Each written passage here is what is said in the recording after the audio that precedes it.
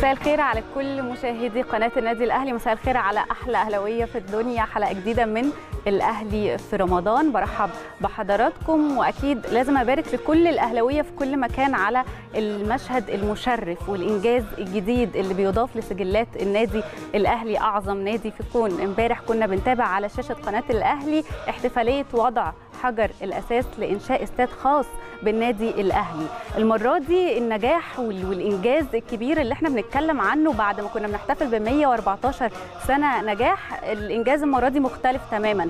لأنه الحقيقة حلم لكل الأهلاوية حلم بقاله سنين كتير قوي قوي. كل الأهلاوية بيحلموا بيه سواء لاعبين أو جماهير أو حتى يعني جهاز فني للنادي الأهلي ومجلس إدارة كله كان الحقيقة بيحلم بإن يكون عندنا استاد خاص بينا. ويمكن كمان كان كابتن محمود الخطيب رئيس النادي الأهلي بيقول في كلمته إن هو من وهو لاعب كان بيحلم بأن يكون النادي الأهلي ليه استاد خاص بيه. وطبعا فوائد ومميزات كتيرة قوي هتعود على النادي الأهلي بعد ما إن شاء الله نقدر إن إحنا نتم الخطوة دي على خير. وبنتكلم إن إحنا لازم طبعا نشكر سيادة الرئيس عبد الفتاح السيسي على الخطوة اللي زي دي وعلى دعمه للرياضة بشكل كبير. الرياضة في مصر بشكل كبير كجزء أو ملف أساسي من ملف تطوير الدولة المصرية اللي إحنا بنشوفه الفترة اللي فاتت دي كلها وأكيد بالتالي كل مؤسسات الدولة اللي دعمت واللي سهلت طبعا إن إحنا يكون عندنا استاد خاص بينا. بنتكلم في إن إحنا الحقيقة حاسين بفخر كبير قوي إن إحنا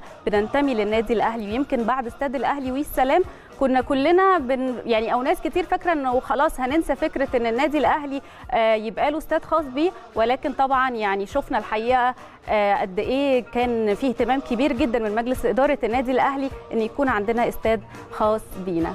مساء الخير عليك يا أحمد معلش طولت عليك شوية. فطرانة كويس النهارده. لا خالص والله.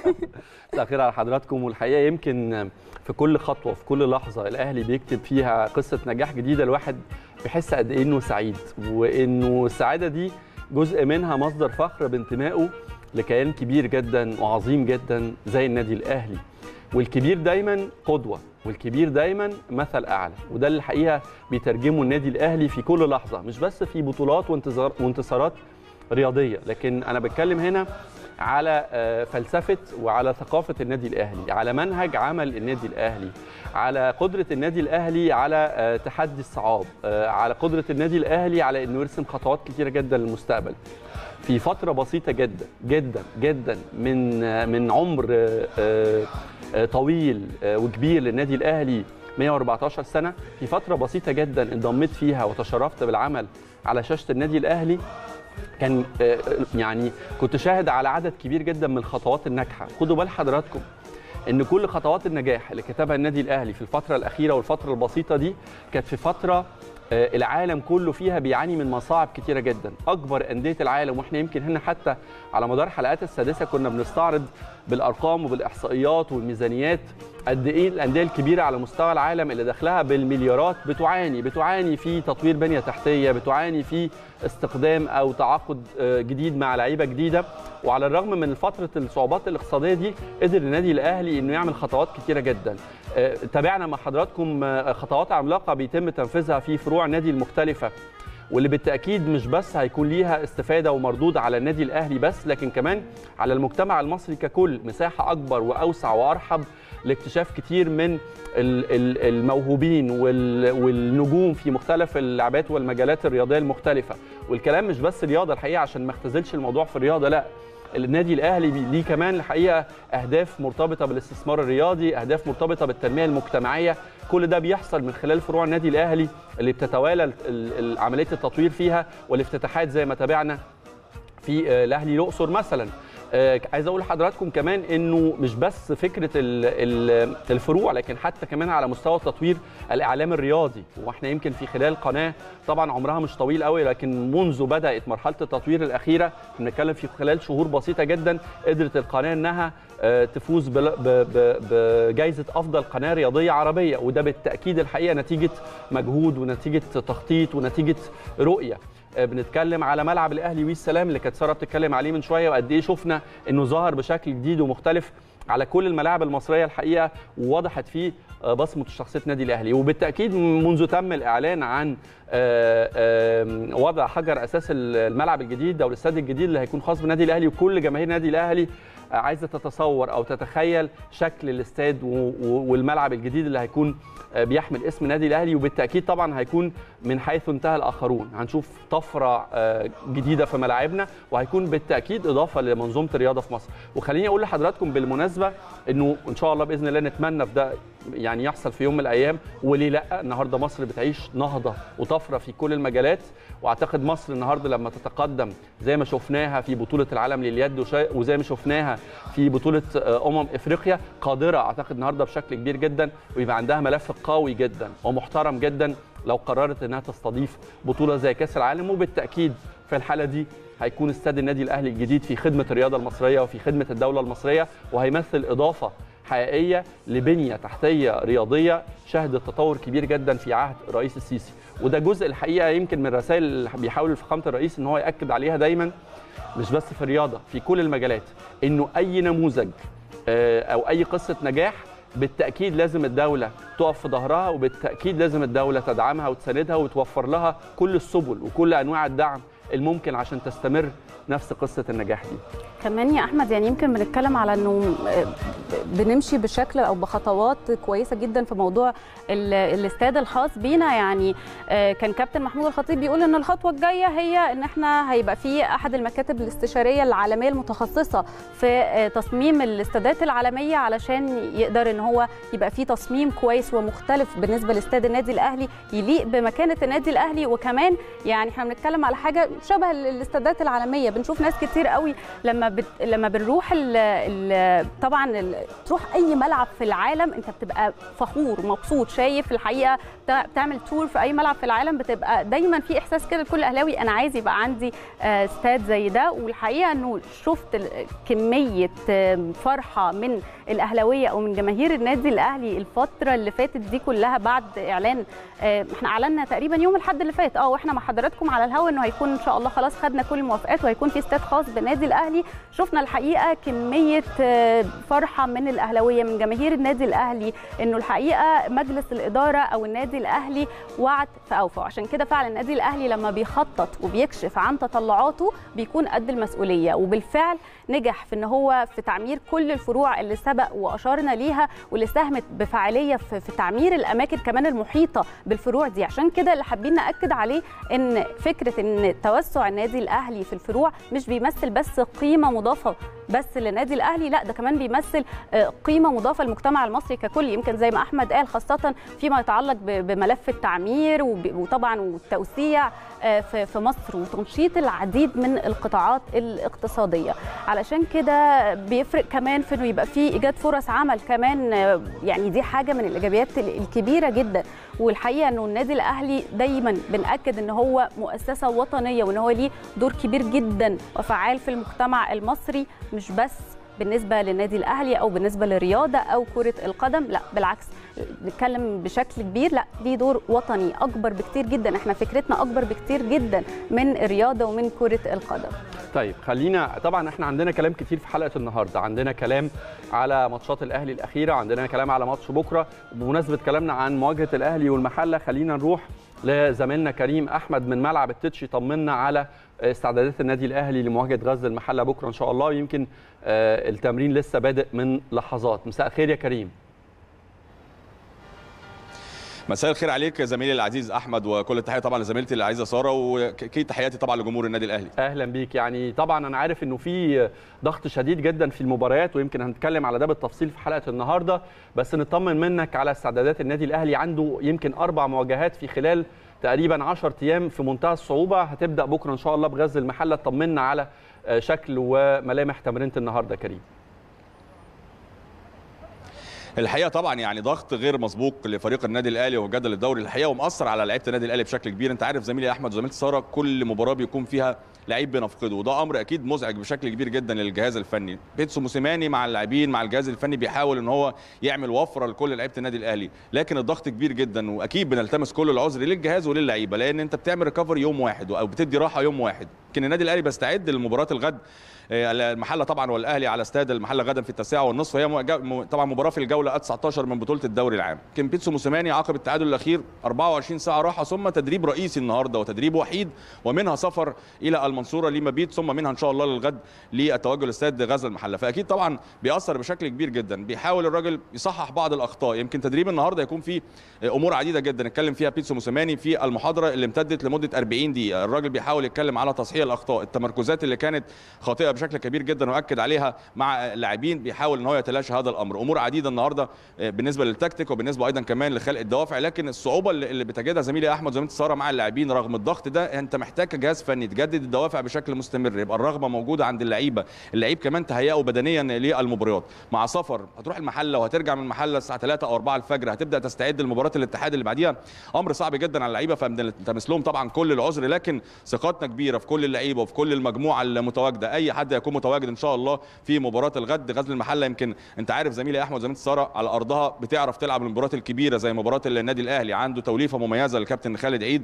عنده عناصر بيقدر يشتغل بيها. طبعا مع الكفاءة الكبيرة اللي لعيبه النادي الأهلي لكن اللي بيقابل النادي الأهلي بيقابل البطل فبيطلع كل اللي عنده. فصعوبة المباراة جاية من هذا الأمر وجاية كمان إن المباراة على استاد المحلة. لكن إن شاء الله بإذن الله بيتسو موسيماني النهارده في التدريب. يكون في جولة تدريبية مش هنقدر نقول جولة قوية أو تدريب قوي على قد ما نقدر نقول النهارده. يا رب كل لعيبتنا تلتزم بالتعليمات تصحح الأخطاء بشكل كبير لأن غدا هيكون في فرص عديدة إن شاء الله لعيبه النادي الأهلي مع التركيز اللي هم فيه فاهدار الفرص أمر صعب وأمر اتكلم عليه أكتر من مرة الجهاز الفني لكن إن شاء الله زميلي أحمد زميلتي سارة التوفيق يكون مع لاعبي النادي الأهلي في مباراة الغد. أنا عايز بس اكد على أكتر من نقطة بالنسبة للإصابات مين اللي هيكون متواجد غدا في القائمة؟ شفنا النهارده الحقيقة بدر بنون يمكن زود شوية قبل التدريب النهارده يعني التدريب خلاص لحظات ويبدا الجرعة التدريبية تكون كاملة. بنأكد على جاهزيه بدر بنون إن شاء الله يكون متواجد في القائمة ومنها للتشكيل الأساسي النهارده يمكن شايفينه بإذن الله هياخد جرعة تدريبية كاملة لكن الغياب مستمر بالنسبة طبعا لأيمن أشرف وجونيور اجاي يمكن هم دول طبعا اللاعبين اللي بنتمنى إن شاء الله يعودوا من جديد لصفوف النادي الأهلي ومؤازرة لاعبي النادي الأهلي. لكن جاهزية بدر بنون أمر مهم جدا لأن أنت عارف فقدت سعد سميرة سارة أحمد طبعا أنت عارف. فيا رب إن شاء الله ما نبقاش نفقد أي لعيب خلال المرحلة القادمة ويكون جرعة تدريبية قوية لفريق النادي الأهلي يستفيد منها بشكل كبير ويكون تركيزها أكبر في مباراة الغد. أنا معاك زميلي أحمد زميلتي سارة لو في أي استفسارات.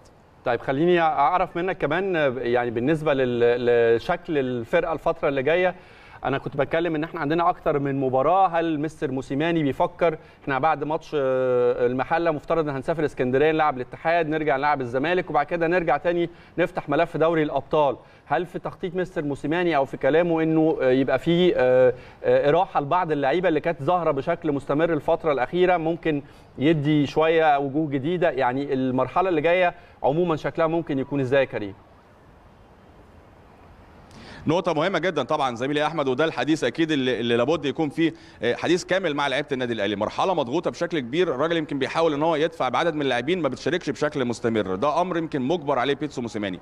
آه بنقدر نشوف طبعا أنت عارف الانسجام أمر مهم جدا لما بنشوف قفشة الحقيقة بيظهر بشكل طيب جدا، محمد شريف مروان صلاح كل اللعيبة لما بتنزل تشارك بيكون ليها تأثير ودور مع لعيبة النادي الأهلي. لكن موسيماني مضطر غصب عنه طبعا الفترة اللي جاية لازم يدي جرعات بسيطة في مباراة المحلة، منها سفر على طول مباشرة إلى الاتحاد والمباراة الأهم طبعا والاقوى هي مباراة يوم ال- يوم 10 طبعا مباراة الزمالك. يوم ثم تدريب يوم ثم تدريب. فمجبر أكيد بيتسو موسيماني إن هو يكون في تدوير بشكل كامل مع اللاعبين وده اللي إن شاء الله بإذن الله بنتمنى إن اللعيبة كمان تكون جاهزة الفترة اللي جاية. اللعيب اللي هياخد دور في أي مباراة يحافظ على نفسه بشكل كبير. 90 دقيقة تعدي بدون أي إصابات. التأكيد مطلوب على الأهداف والثلاث نقاط أكيد لكن سلامة اللعيب أهم لأن المرحلة مهمة جدا. والتحدي الأكبر يا زميلي أحمد زميلتي ساره هي البطولة الأفريقية. ضغط كبير. لكن إن شاء الله بإذن الله لعيبة النادي الأهلي تحافظ على نفسها في الفترة القادمة بإذن الله. ومنها إن شاء الله تدريجيا ربنا طيب. يبعد الإصابات عن اللاعبين. ويستمر النادي الأهلي في إسعاد جمهور النادي الأهلي اتفضل خليني. أطمن منك لو عندك معلومات آه، آه، أطمن منك الأول على أكرم لأنه أكرم بذل مجهود يعني خارق في مباراة الأهلي الأخيرة أمام الجونة أطمن منك على الحالة البدنية هل بيعاني من أي شيء هل ممكن يكون مش موجود مع الأهلي بكرة وعايز أعرف منك آه، نفس الأمر بالنسبة لولتر بواليا وأخبار علي معلول طبعا هختم معاك بعلي معلول يعني علي معلول واصل لمرحلة النهائيه في التأهيل يعني أنت عارف التأني مهم جدا زميلي أحمد زميلتي سارة في الدفع بعلي أكيد. معلول لأن أنت عارف يمكن نزل جات له الإصابة اتكرر الامر معاه فيمكن في تأني كبير جدا على علي معلول لأن المرحلة اللي جاية أهم وأصعب وأقوى. إحنا خلاص داخلين في المرحلة طبعا. اللي نقدر نقول محتاجين كل اللعيبة واللاعبين الخبرة بخبرة علي معلول بشكل كبير. فخلاص نقدر نقول علي في المرحلة الأخيرة يعني بنسأل على طول طبيب النادي الأهلي أحمد أبو عبلة بيقول يعني هانت خلاص مش عايزين ندي أرقام أو ندي أسابيع أو عدد من الأيام لأن ممكن يكون في أقل من كده كمان. لأن يمكن علي معلول الحقيقة عنده رغبة كبيرة جدا وشغال على نفسه الحقيقة في التأهيل بشكل مميز فإن شاء الله بإذن الله يعود سريعا. والتر بواليا ما نقدرش نقول إن هو عنده أي اجاده أو أي إصابة غير إن هي يمكن رؤية فنية الاستعانه بيه من عدمه في القائمة أو في المباراة. ترجع طبعا لبيتسو موسيماني المدير الفني لفريق النادي الأهلي. اللعيبة يمكن الحمد لله الفترة اللي فاتت أي حد بيكون مشارك أحمد أنت عارف طبعا بيكون عارف قيمة النادي الأهلي وشخصية النادي الأهلي. فالغيابات الحمد لله بيبقى آه ليها تأثير بسيط لكن اللعيبة اللي بتنزل بتأدي بشكل مميز جدا. يمكن سألت على بواليا وسألت على مين تاني؟ أجاي على ما أعتقد وسألت على مين تاني. سألت على أكرم. أكرم توفيق. عايز أطمن عليه جاهز لماتش بكرة؟ أكرم أكرم. يمكن أكرم توفيق الحقيقة طبعا مجهوده كان كبير جدا وشفناه واصراره ويمكن الحقيقة المباراة الأخيرة واضح الروح واضح الإصرار في كل حتة بنشوف أكرم. مش هنقدر نقول إصابة على نقدر ما نقدر نقول إن هي حالة الإجهاد الكبيرة. الحمل كبير جدا على اللاعبين. آه، الريكفري ما بيبقاش موجود بكل قوة عشان تقدر ترجع اللعيب بكامل قوته تاني. فأكرم طبعا. يمكن نور حالة إجهاد بسيطة مع اللاعبين بالكامل لكن هيكون إن شاء الله متواجد مع لعيبة النادي الأهلي في التدريب ومنها في القائمة. ومش بعيد يكون كمان الاستعانة بيه في التشكيل الأساسي بدوره الكبير وادائه المميز واحد من اللعيبة المميز المميزين جدا خلال المرحلة الماضية. وبنتمنى إن شاء الله الفترة القادمة يكون أكرم على هذا المستوى المميز للاستفادة فيه بشكل كبير جدا مع النادي الأهلي. إن شاء الله. أنا بشكرك. شكرا جزيلا زميل العزيز كريم أحمد. دي كانت آه، أخبار آه، فرقتنا وإن شاء الله بإذن الله كل اللعيبة تكون جاهزة. وبمناسبة أكرم الحقيقة أكرم قدم آه، ماتش أكتر من رائع قدام الجونة. وأنا عارف إنه كتير من جماهير النادي الأهلي ممكن تكون متضايقة من ضياع نقطتين في مباراة بتشوفها إنها مباراة سهلة. أنا هتكلم مع حضراتكم بكل التفاصيل طبعا بس خليني برضو في البداية نقطة نظام وإحنا كنا بنتكلم عن النادي الأهلي وكنا بنتكلم على الكبير وكنا بنتكلم على القدوة وكنا بنتكلم على المثل الأعلى وكنا بنتكلم إنه النادي الأهلي إضافة كبيرة جدا أو كل خطوة بياخدها النادي الأهلي بتعتبر إضافة كبيرة جدا لمنظومة الرياضة في مصر بشكل عام وفي كرة القدم بشكل خاص. وهنا لينا واقفه شوية لأنه الحقيقة أنا أتفهم جدا ان اتحاد الكرة المصري يبقى على مسافة واحدة من كل الأندية. ده شيء طبيعي جدا ومنطقي جدا ومفهوم جدا ونأكد عليه ونطالب بيه كمان لما نكون بنتكلم على آه، مسابقة محلية. لكن لما نكون بنتكلم على مسابقة قارية أو مسابقة عالمية بيشارك فيها النادي الأهلي هنا أنا الحقيقة لا أتقبل فكرة إن النادي الأهلي انه اتحاد الكره يكون على مسافة واحدة من كل الأندية لأنه النادي الأهلي هنا بيمثل مصر. وإحنا قلنا إنه النادي الأهلي لما جاب برونزية عالم هو ما جابهاش لجماهير النادي الأهلي بس هو جابها لجماهير الكرة المصرية كلها وجابها للرياضة المصرية كلها. والنادي الأهلي لما رفع كأس بطولة أفريقيا ما جابهاش لجماهير النادي الأهلي بس هي بطولة تحسب وتضاف لرصيد الأندية المصرية على صعيد البطولات القارية. هنا مفترض إن أنا أفهم إن اتحاد الكرة المصري يكون ليه دور داعم وده لا يخل بمبدأ تكافؤ تكافؤ الفرص على الإطلاق. عشان محدش يقول لي هنا إنه لأ ده كده هنا مفيش عدالة أو مفيش مساواة. لأ لما النادي الأهلي يكون ممثل مصري يبقى على اتحاد الكرة المصري إنه يدعم النادي الأهلي في مهمته بصفته ممثل مصر الوحيد في بطولة الأهم على مستوى قارة إفريقيا. بكلم حضراتكم على طبعا مواجهات الأهلي في شهر مايو اللي هيبتديها بمواجهة سان داونز حسب ما تم الإعلان عنه في القرعة. خدوا بال حضراتكم إحنا طول الشهر اللي فات ومن قبل الشهر اللي فات كمان وإحنا بنتكلم على ضغط المباريات العنيف اللي بيعاني النادي الأهلي منه واللي خلاه يلعب 9 10 ماتشات في شهر. إبريل وفي شهر مايو بنبتدي بمواجهة غزل المحلة في المحلة ومواجهة الاتحاد في اسكندرية ومن بعدهم نواجه الزمالك وصيف البطولة حتى اللحظة أو يعني آه، متصدر البطولة بشكل مؤقت لغاية لما النادي الأهلي إن شاء الله ينهي, ينهي مؤجلاته. وبعد كده نلعب مع بطل جنوب أفريقيا واحد من برضه من أبرز المرشحين في مباراة صعبة جدا وكتير من الخبراء بيشوفوا إنها نهائي مبكر. فين دور اتحاد الكره هنا؟ يعني يعني أنا مش قادر أفهم إيه إيه- يعني خدوا بال حضراتكم إنه الجمهور يمكن عشان مش موجود في المدرجات صوته مش واصل قوي. لكن اللي يدخل على كل صفحات الفانز بتاعت النادي الأهلي على مواقع التواصل المختلفة تقريبا كل الناس بتتكلم على وجود مؤامرة ضد النادي الأهلي عشان تعطله سواء فيما يتعلق بمنافسته على لقب اللي بيحمله كبطل للدوري العام أو حتى في مشواره في أفريقيا. ليه نوصل الأمور للدرجة دي؟ ليه حالة الشحن ليه نحط الأمور أو نحط ال ال ال ال ال الحاجات في إطارها غير الطبيعي اللي يخلي الناس الحقيقة في حالة تحفز كبيرة جدا وتشوف دايما إنه في مؤامرة دايما آه، ضد النادي الأهلي أو لعرقلة مسيرة النادي الأهلي كان مهم جدا على المسؤولين وفي ظني الحقيقة إن هم يفوتوا فرصة من النوع ده وكان الأهم بالنسبة لي كمان قبل تفويت الفرصة إنه يبقى في أي ملامح دعم للنادي الأهلي في مشواره بصفته ممثل مصر الوحيد في دوري أبطال على. ذكر كمان اتحاد الكرة يا أحمد يمكن خلاص يعني حضراتكم عارفين إنه اتحاد الكرة وافق على تأجيل مباراة آه، سيراميكا ومباراة وادي دجلة مع طبعا النادي الأهلي. آه، الفترة اللي جاية المفروض المباراتين دول كانوا هيبقوا آه، الشهر ده ولكن تم تأجيلهم. لسه ما تحددش الميعاد ولكن هيكون يعني وقت آه، ال- ال- الأولمبياد يعني وقت ما يكون الحقيقة في مباريات أو معسكر وقت الأولمبياد. وكان اتحاد الكرة لما حط الجدول قال إنه لو حد عايز يأجل مبارياته أو أي فريق عايز يأجل مبارياته ما فيش مشكلة بس المباريات دي هتلعب وقت الأولمبياد. النادي الأهلي حقيقة وافق ما عندوش مشكلة في ده. وبالرغم إن هو هيخسر يعني يمكن ستة من من أفضل اللعيبة عنده إحنا بنتكلم على طاهر وبيكم وناصر ماهر وصلاح محسن وأكرم توفيق طبعا. فبنتكلم على عدد من اللعيبة المهمة جدا والعناصر الأساسية جدا في النادي الأهلي. حتى لو منهم كتير بيبقى احتياطي لكن أنت عندك طاهر من اللعيبة الأساسية. عندك آه، طبعا أكرم. أكرم, أكرم توفيق من أفضل الديفندرز في, الدوري المصري بشكل عام مش بس في النادي الأهلي. عندك كتير من اللعيبة حتى المباراة اللي فاتت يمكن بدأ كمان أساسي ببعض اللعيبة دي. لكن ده كان حاصل في سبيل إنه النادي الأهلي في ضغط مباريات كبير قوي. إحنا مش بنتكلم على ضغط المباريات دي بنقدم مبرر لأي حاجة. ده مش طبيعي ومش بيحصل في أي أو لأي فريق في العالم. فأنت بتتكلم إنه في سبيل إن أنت تروح مباراه كأس السوبر مرتاح شوية لأنه أساسا أنت مطلوب منك إنك تروح بدري لأن في مسحة طبية وفي نظام الفقاعة. لو حضراتكم تفتكروا وقت كأس العالم للأندية كانت اللعيبة برضو في نظام الفقاعة ده مهمه جدا إن النادي الأهلي يروح مباراة زي دي أو بطولة زي دي مرتاح لأن أنت بتلعب ماتش على بطولة. فبالتالي إحنا وافقنا إن إحنا نلعب في الوقت ده من غير عدد كبير من اللعيبة في الوقت اللي فيه كمية الإصابات دي آه علشان بس نقدر إن إحنا نريح اللعيبة. فأنا بحاول أقول لحضراتكم الموقف علشان كمان نبقى نخف شوية انتقاد. يعني أنا عارفة إنه دايما ودايما بقولها وعارفة قد إيه إنه جماهير النادي الأهلي عندها فكرة ال- المكسب دايما وإنه بيتضايقوا لو حسوا إن في شوية تأثير أو إن الماتش كان في إيدينا إن إحنا نكسبه.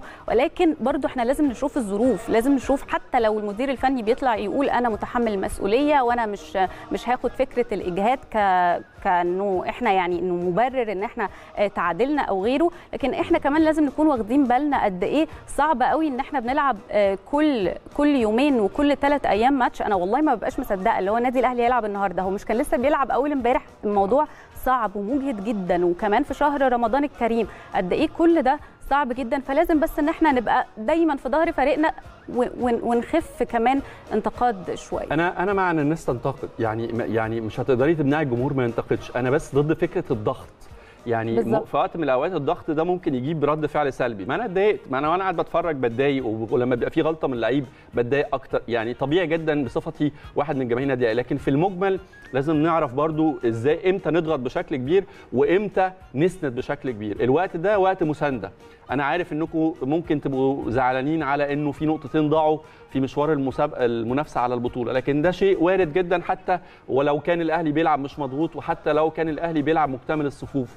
لكن لابد إن إحنا نراعي برضو في وقت من الأوقات إنه الفرقة عليها ضغوط شديدة جدا مش محتاجة من جماهيرها إنها تعمل ضغ- ضغط إضافي أو تعمل عبء إضافي عليها. مش راضيين عن النتيجة طبعا مش فيش ما فيش أهلاوي راضي عن النتيجة. وكل أهلاوية كل مباراة ايا كانت الظروف والمبررات عايزين يخشوا كل ماتش وكل بطولة يكسبوها ده شيء طبيعي جدا. لكن الجمهور اللي ما يسندش وقت الزنقة ووقت وقت الصعوبات وقت ال- ال- الأزمات يبقى مش جمهور يبقى يعني أنا بعتبر الجمهور الحقيقي الجمهور المخلص واللي اتعودنا طول عمرنا من جماهير النادي الأهلي العظيمة هي اللي بتقف مع فرقتها وقت الصعوبات ووقت الشدة. وده وقت شدة وقت الشده لأنه الفرقة غايبة عنها فرقة كاملة. والفرقة بتلعب ماتش تقريبا كل يومين. إحنا في ست أيام لاعبين ثلاث ماتشات.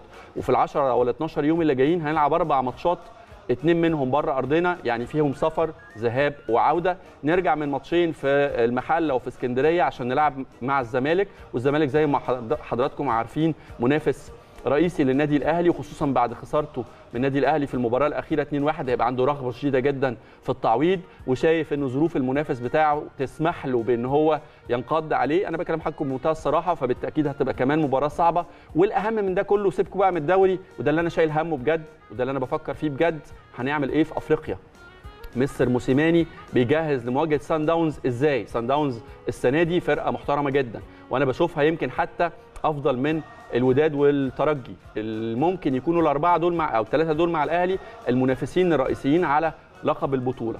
هنلعب معاهم يوم 15 مستر موسيماني بالتأكيد يعني أنا عارف إنه الأهلي بياخد ماتش بماتشه وما بيفكرش في الماتشات اللي جاية بس هو بالتأكيد من دلوقتي بيفكر في ماتش سان داونز وبالتأكيد بيحاول يجهز لاعيبته اللي ممكن كتير منهم يبقى مجهد بشكل كبير جدا وده الدور اللي أنا كنت بتكلم فيه ومنتظره الحقيقة من اتحاد الكرة إنه يخفف شوية أو يحاول يساعد شوية بطل مصر وبطل إفريقيا في مهمته الأفريقية. مش بتكلم كده عشان يساعدنا في إن إحنا نحسم نقاط الدوري لكن يبقى في ميزان عادل حتى في توزيع المباريات بحيث ان الأهلي كان ممكن جدا يلعب مباراتين اللي جايين في الجولتين اللي جايين في القاهرة وتتأجل المباريات اللي في الخارج في وقت تاني لكن ده للأسف شديد جدا ما حصلش. على كل الأحوال الأهلي بمنحدر دي مقولة إحنا جربناها وتعلمنا من وراها دروس كتيرة جدا وبمناسبة الأهلي بمنحدر وده مش رايي لوحدي رأي كتير من جماهير الأهلاوية غاب معلول وغاب أيمن أشرف وغاب وحيد وظهر كوكا. كوكا الحقيقة حظى بإشادة كبيرة جدا من جماهير النادي الأهلي في خلال فترة بسيطة جدا من ظهوره لاعب ناشئ لكنه يتمتع بشخصية كبيرة جدا قدم المطلوب منه أعتقد يا سارة يمكن حتى في استطلاعات الرأي وفي اختيارات الجماهير النادي الأهلي معانا. كان كوكا حاضر بشكل كبير. أكيد. على ذكر مباراة سان داونز يا أحمد الحقيقة طبعا كلنا شايلين هم أفريقيا وشايلين هم مباراة سان داونز وشايفين إنه قد إيه مباراة مش سهلة وكل المباريات في إفريقيا الفترة اللي جاية مش سهلة تماما الحقيقة. يعني إحنا بنتكلم على كنا عارفين إن إحنا ممكن نقابل سان داونز ممكن نقابل الوداد ممكن نقابل الترجي الثلاثه مش مش سهلين ابدا. ولكن النادي الأهلي يعني قدها. أنت بتتكلم على إنه الفترة اللي جاية دي أنت محتاج إن أنت تركز قوي في ضغط المباريات دي وتقدر إن أنت أنت بتدور على اللقب العاشر بتدافع عن لقبك في أفريقيا والجمهور هو ده اللي هو عايزه والحقيقة بيدور على ده. فإحنا بنتكلم على إن أنت هتلعب مباراة مباراة قمة في الدوري مع الزمالك وبعدها تروح تلعب أو هتلعب هنا مع سان داونز الأول وبعدين تلعب مباراه في الدوري وبعدين مباريات الإياب مع سان داونز هو ده. عشان كده لما بنتكلم مع حضراتكم فكرة الضغط أصلا اللعيبة مضغوطة بشكل كبير قوي. فإن إحنا لازم نكون يعني جنبهم لازم نكون في ظهرهم لازم إن إحنا نكون بندعم آه النادي الأهلي وفريقنا الفترة دي. إحنا بنتكلم إنه مباراه سان داونز أكيد مش سهلة ولكن برضو يعني في احترام كامل للخصم وهم الحقيقة بيتكلموا عننا بإن هم عارفين إن هم جايين يقابلوا بطل أفريقيا وإن هم آه واخدين يعني محضرين نفسهم بشكل كويس وبيحضروا نفسهم بشكل كويس. وإنه الفترة اللي جاية فترة صعبة جدا بالنسبة لهم وأكيد صعبة بالنسبة إن إحنا بنتكلم على مباريات أفريقيا بشكل عام مش بس مباراه سان داونز. وأكيد عندهم فكرة دافع الثأر إن هم عارفين إنه النادي الأهلي خرجهم قبل كده من البطولة ويمكن كمان النسخة اللي فاتت من دور الثمانيه إحنا يعني المرة الثالثه على التوالي إن القرعة تحطنا في طريق بعض. فالحقيقة إنه في فكرة الثأر يمكن زي ما أحمد بيقول فكرة الزمالك في الدوري. لا سان داونز كمان عندهم عايزين ياخدوا حقهم عايزين يثأروا من النادي الأهلي. آه وأعتقد إن من النقط الإيجابية فكرة إنه موسيماني وجهازه المعاون عارفين بشكل كبير فريق سان داونز عارفين إيجابياته عارفين سلبياته نقاط القوة نقاط الضعف وده أعتقد إن هو ممكن يكون عامل مساعد بالنسبة آه لموسيماني قبل مباراة سان داونز في إفريقيا. وعلى كل حال يعني إحنا دايما كلنا الثقة مهما كان الفريق المنافس مهما كان تاريخه مهما كان تاريخنا معاه وإحنا أصلا تاريخنا إحنا متفوقين في سجل المواجهات مع آه سان داونز. ولكن عندنا ثقة كبيرة قوي إنه برغم من ضغط المباريات دي اللي مش أي حد يستحمله مش أي فريق يستحمله ولو ما كانش فيه الحقيقة مجلس إدارة وجهاز فني بشكل كويس جدا وعارف كويس قوي إزاي انه يتعامل مع الضغط ده اللي إحنا محطوطين فيه غصب عننا كأننا دايما بنقول بنتعاقب ان إحنا يعني مشاركين في أكتر من بطولة وإن إحنا بطل أفريقيا ما كانش الحقيقة هيبقى الأداء والشكل والنتيجة اللي إحنا شايفينها بالشكل ده. فاحنا لازم الحقيقة الفترة اللي جاية بنأكد على كل الدعم للفريق وكلنا ثقة طبعا في فريق النادي طبعا. خلينا نقفل الكلام على سان داونز ونفتح الكلام على ماتش بكرة. الأهلي بكرة عنده مواجهة مهمة جدا مواجهة صعبة مع المحلة في المحلة. يعني اللي كانوا بيشوف كورة زمان لما كانت المحلة في مجدها يعرفوا إن واحدة برده من الكلاسيكيات واحدة من الماتشات اللي جماهير النادي الأهلي بتبقى آه، عاملة لها حساب كبير جدا. خلينا نتكلم عليها بالتفصيل مع نجم حلقتنا النهارده الأهلي في رمضان هيشرفنا كابتن أحمد عادل في آه، الاستوديو بعد الفاصل. برحب بحضراتكم مرة تانية والحقيقة مكملين بقى سهرتنا مع نجم النادي الأهلي كابتن أحمد عادل اللي منورنا وعندنا كلام كتير قوي وسهرة النهاردة يا كابتن كل سنة وحضرتك طيب كل سنة وحضرتك طيبة وكل سنة وحضرتك أستاذ أحمد طيب والأمة الإسلامية كلها بخير والشعب المصري كده في أحسن حال ورمضان كريم عليكم كلكم وعليك يا رب وعليك طبعاً يا. كابتن. كل سنة وأنت طيب ومنور الدنيا كلها وخليني ابتدي الحقيقة يمكن كنا لسه شايفين آه، تقرير على ماتش سان داونز وأنا كنت بتكلم أنا وسارة إن واحدة من المواجهات يمكن تكون المواجهه الأهم في المرحلة ال- اللي جاية للنادي الأهلي آه، الاختلاف الوحيد اللي بشوفه إنه بيصب في مصلحة النادي الأهلي هو بيتسو موسيماني لأنه كان المدرب السابق ل... لسان داونز فبالتأكيد درايته ومعرفته بقدرات الفرقة. ولاعيبتها هتبقى في مصلحة النادي الأهلي بتشوف الماتش إزاي وفرص النادي الأهلي فيها يا كابتن أحمد أكيد فرص آه، كبيرة وخصوصا إن أنت كنادي أهلي بغض النظر عن مستر موسيماني إن هو كان المدير الفني السابق ده بيرجح كفة أنا بشوف إن ده من أكتر الحاجات اللي بترجح كفة النادي الأهلي لأن هو على دراية كاملة زي ما حضرتك بتقول بنقط الضعف ونقط القوة في فرقة سان. داونز وخصوصا إن اللعيبة دي كلها يعني فريق سان داونز على مدار ال- السنين ما بيغيرش ما بيعملش rotation في لعيبة كتير. فأغلبية اللعيبة اللي موجودة دي مستر موسيماني كان بيمرنها لكن اللي بيرجح النا- النادي الأهلي أكبر إن أنت فريق عنده شخصية فريق. عنده شخصية البطل فريق محقق البطولة وبتملك شخصية النادي الأهلي شخصية النادي الأهلي هو اللعب على البطولة و...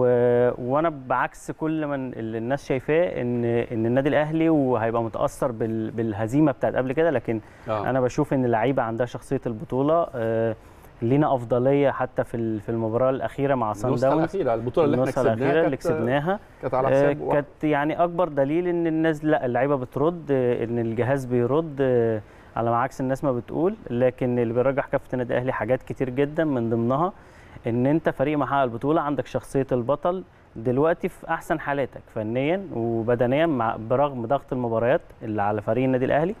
لكن عملية الروتيشن اللي بتحصل في في في التشكيل اللي بيلعب بيه مستر موسيماني ده إن شاء الله يرجح كافه النادي الأهلي إن شاء الله. بتشوف إزاي يا كابتن إنه بالرغم من الضغط اللي إحنا بنتكلم عنه ده بقى لنا فترة يعني ولسه اللي جاي أكتر ضغط مباريات كبير قوي بالنسبة لفريق النادي الأهلي ولكن برضو في البعض بينتقد لو النادي الأهلي تعادل في مرة بينتقد موسيماني. بتشوف إزاي الانتقاد ده؟ هل في محله؟ هل هو تقييم موضوعي أصلا في الفترة الصعبة دي إن أنت كل يومين أو كل ثلاث أيام مباراة؟ دي هنا بترجع برضو لأن انت رفعت. رفعت سقف طموح الناس. سقف طموح الناس ان النادي الأهلي هو مرفوع خلقه يا كابتن أحمد سقف طموح أنا بج... سقف طموح جماهير النادي الأهلي إن هو حتى مش متقبل النادي الأهلي يتعادل صحيح ف... فأنت أنت كلعيبة وأنت كجهاز فني لما لما بتقعد تسمع كده يعني أنت محطوط تحت مسؤولية أنت محطوط. تحت مسؤولية كبيرة وأنت أنت محقق فريق محقق البطل فريق بتكسب على طول آه، فانت رفعت سقف- طموح ال- الجماهير. فطبيعي إن النادي الأهلي يتعادل ولكن بيتعادل بأسباب. إيه إيه اللي بيضايق ال- اللعيب من الجمهور يا كابتن أحمد؟ آه، عدم التقدير ال- الموقف. يعني. عدم تقدير الموقف إن في ضغط مباريات إن ممكن أنا بالنسبة لي لو أنت عندك كمدير فني آه، حوالي خمس أو ست لعيبة أو حتى لو اتنين تلاتة لعيبة مؤثرين مع الفرقة مش في حالتهم فده ممكن curve ال curve ال ال ال العالي بتاعك انت. و curve الأداء على العموم بي- بينزل شوية.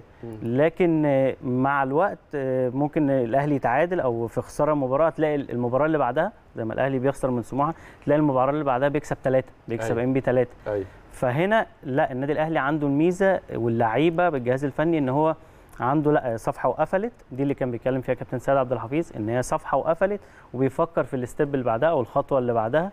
عشان كده النادي الأهلي بياخد كل مباراه بمباراتها.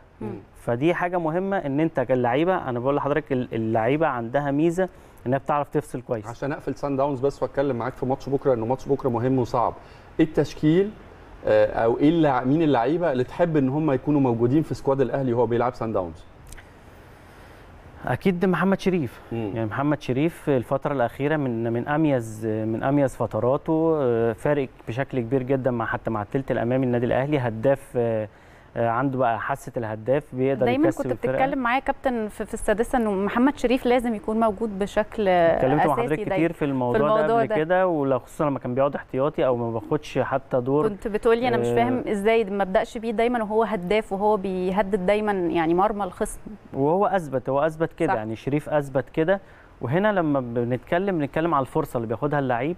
لازم تستغل ولازم تحط رجلك كويس لأن زي ما قلت لحضرتك قبل كده وقلت للاستاذ أحمد سمير على إن اللعيبة كلها أنت عندك 25 لعيب نجم في النادي الأهلي لما بتحط أي حد لا هو المفروض يبقى قد المسؤولية. المفروض يبقى قد المسؤولية وفي النادي الأهلي مفيش لعيب أيوة. أساسي ولاعيب احتياطي مم. لازم كل اللعيب أي لعيب موجود في قائمه النادي والله الاهلي حتى لما بيطلع آه. من الناشئين يا كابتن أحمد بنشوفه قد المسؤولية أنا و- عاجبني جدا كوكا كوكا كوكا ما وعاجب شاء الله. كله الحقيقة لا لا ما شاء الله. و... آه، أميز حاجة عند كوكا إن هو عنده شخصية مم. شخصية لعيب نادي الأهلي اللي هو ما بيهبش المباريات أو بيلعب مباريات كبيرة. وهنا في مباريات سان داونز والمباريات الكبيرة هي اللي بتعمل لعيب. هي اللي بتعمل لعيب يتحمل الضغوط الضغوط يبقى عنده مسؤولية. هي بتعمل لعيب وهي بتعمل مدير فني.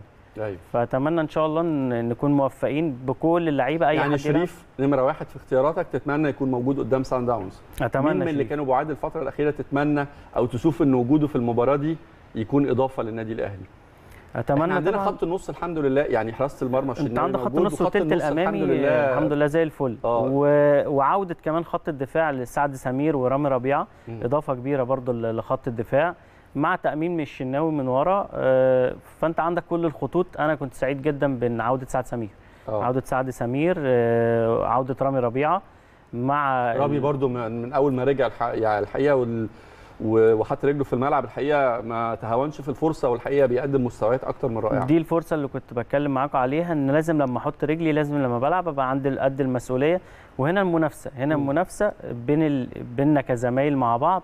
دي بتصب في مصلحة الفريق. فرق. يعني يكون عندك ياسر إبراهيم عندك آه، سعد سمير موجود آه، بدر بنون أيمن. أشرف. أنا بشوف إن دول من من من أقوى خمس قلب دفاع على مستوى أفريقيا. صحيح. ف...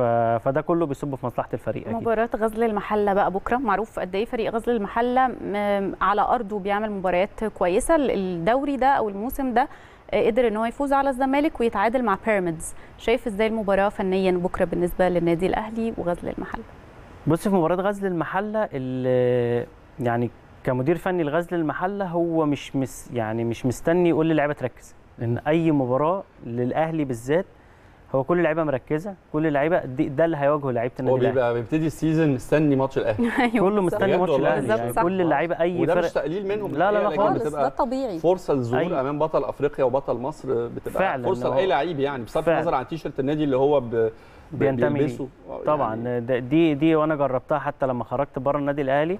آه، المدير الفني مش مستني من اللعيبة اللي هي تقول له ماتش الأهلي ركز نام بدري آه، مثلا لازم تبقى مركز في المباراة. هتلعب على لأن النادي الأهلي وتشكيل النادي الأهلي هو كتاب مفتوح. مم. كتاب مفتوح لكل الفرق اللي في مصر. معروف كهربا لما بيلعب معروف محمد شريف لما بيلعب معروف السوليه لما بيلعب. فأنت هنا مع لعيبة المحلة آه، لازم من أول في المباريات دي إن أنت تخلص المباراة بدري. مم. يعني تخلص المباراة بدري وتنزل تفرض أسلوب لعبك. لأن أنت لو غزل المحلة عدى ربع ساعة تلت ساعة والنتيجة سلبية هتخش في في مشاكل وفي مباريات المباراة هتبقى الأمور متصعبة عليك. طيب. إحنا في السادسة معودين جمهور ال ال القناة إن إحنا بنعمل استفتاء بعد كل ماتش بيلعبوا بتلعبوا الفرقة. تمام. والجمهور بيختار أفضل ثلاث لعيبة من وجهة نظره. وفي جدولنا إحنا جدول السادسة أول أفضل لاعب بياخد ثلاث نقط وتاني أفضل لاعب بياخد نقطتين وثالث واحد بياخد نقطة واحدة. هنشوف معاك آخر ماتشين. إحنا من يوم الأحد اللي فات لما كنت أنا وسارة موجودين في الأهلي في رمضان لغاية النهارده آه، عملنا استفتائين على ماتش إمبي وماتش المصري الماتشين اللي الأهلي آه، كسبهم. خلينا نستعرض النتائج ونسمع تعليقك وتقول لنا إيه رأيك في اختيارات جمهور النادي الأهلي. وهبدأ مع حضراتكم بماتش إمبي. الأهلي قد- قدم فيه واحدة من أفضل مبارياته. أعتقد ده رايي كان رأي أغلبية يعني اللي سمعتهم من النادي الأهلي. في المركز الأول كان أكتر لاعب محير لجماهير النادي الأهلي ال season ده حسين الشحات. لاعب في لحظات معينة بتظهر إمكانياته وهي آه، إمكانيات آه، غير طبيعية. نتمنى الحقيقة إنه يوصل لقمة مستواه وإنه يبقى فيه ثبات في الحفاظ على المستوى اللي يوصل له لأنه الشحات هيكون إضافة كبيرة جدا لقدرات النادي الأهلي الهجومية. الشحات بإجماع جماهير النادي الأهلي في ماتش ام بي فاز بالمركز الأول وأول ظهور للشحات من بداية ال season في جدول الترتيب العام. في المركز الثاني عودة حميدة للسولية واحد من أهم وكان الحقيقة يمكن واحد من أهم أسباب فوز النادي الأهلي بالثلاثية في الموسم الأخير. السولية الحقيقة اللي ظهر وأنا يمكن أشدت بيه جدا في المباراة دي وقلت إنه ده السولية اللي إحنا نعرفه فاز بعد منافسة شرسة الحقيقة جمعته بالشحات فاز بالمركز الثاني وخد نقطتين وأضاف لرصيده نقطتين في جدول الترتيب. أما الحقيقة مش هقول مفاجأة لأنه الحقيقة برضه بإجماع الجماهير كان كوكا الواعد أو الصاعد الواعد هو اللي احتل المركز الثالث وبرضه بيظهر لأول مرة في جدول الترتيب. الشحات بالنسبة لك إيه يا كابتن أحمد؟ لا أنا حسين يمكن اتكلمت عليه بشكل كبير جدا إن حسين من من المهم إن الناس حط عليه مسؤولية كبيرة جدا تجاه الفرقة تجاه المباريات إن إن أنت حسين لعيب مش يعني قيمتك التسويقية عالية جدا إمكانياتك حتى اللي المفروض يعتمد عليك فيها المدير الفني لازم تظهر في كل المباريات. لكن ممكن أداء محير شوية إن هو بيبعد حسين أنا بشوف إن هو بيتأثر نفسيا شوية. أيوه. بيتأثر بالضغط حتى اللي بيتحط عليه بيتأثر بالتصريحات. لكن إمكانياته بتظهر في المباريات. إن أنت بتشوف مثلا حسين يعني في ماتشات كتير جدا ولقطات كتير جدا لحسين تقول لك إنك أنت عندك موهبة آه يعني آه جامدة جدا. آه عندك لعيب عنده قدرات خصوصا في المباريات اللي بتبقى صعبة والمباريات اللي بتبقى تقيلة. إنه يكون حاسم وإنه يكون مؤثر وإنه يكون مبدع إنجاز التعبير كمان. السؤال اللي بتسأله أغلب يعني أنا بكلمك بمنتهى الصراحة وده لسان حال جماهير النادي الاهلي السؤال اللي بتسأله جماهير النادي الاهلي ليه حسين ما عندوش ثبات في المستوى؟ ليه مردود حسين في كل مباريات النادي الأهلي مش نفس المردود؟ ما أنا زي ما بقول لحضرتك إن مليون في المية حسين بيتأثر بيتأثر بردود الأفعال. هنا لازم لازم حسين يقفل على نفسه شوية يعني لازم يقفل على نفسه. حتى ال social media ما يبصلهاش. يركز في الملعب زي ما كان مركز أو الحاجات اللي كان معتاد عليها إن هو كان بيعملها إن هي بترفع مستواه إن هو لعيب الكورة وخصوصا في النادي الأهلي وأنت كحسين الشحات على مستوى النادي الأهلي وعلى مستوى منتخب مصر أي. أنت آه لعيب كبير الناس طالبة منك حاجات كتير جدا جماهير الأهلي طالبة منك حاجات كتير جدا لازم تبقى قدها. لكن حسين أنا شايف إن هو ممكن يكون مركز بره الملعب مع التصريحات مع الانتقادات اللي بيتعرض لها أوه. فدي أكيد هتأثر عليه بصورة سلبية مع بعض اللعيبة برضو اللي بتدي ودنها لل... للإعلام أو لل... للضغوط أو أي. للتصريحات اللي هي غير بناءة أي. لكن كحسين اللي أنا يعني واثق في إمكانيات حسين إن هو الفترة اللي جاية يكون إضافة لخط هجوم النادي الأهلي وهنا حسين بيظهر على بعض الفترات بأهداف. يعني ممكن أداء وممكن ما بيرضيش جماهير النادي الأهلي شوية لكن بيقدر يجيب أهداف. وخصوصا ده ظهر في مباراة سموحة. إن أنت بتشوف حسين أول نص ساعة ممكن تحس إن هو مش موجود في الملعب بس في لقطة أو في كورة يا بيقدر يعمل لك هدف يا. يا بيحرز هدف. صحيح. فأكيد هو لعيب مهم يعني. كوكا انه يفوز بثالث أفضل لاعب في المباراة مفاجأة بالنسبة لك؟ على اللي أنا شفته من كوكا لأ. يعني اللعيب عنده يستاهلها. شخصية يستاهلها هو يستاهلها ودي أكبر أنا بشوف إن هي أكبر مكافأة ليه آه اللي, ال- اللي ال- ممكن يكون مفاجأة ليك إنه كررها خلينا نسمع نتيجة ماتش إمبي آه نتيجة ماتش المصري, المصري.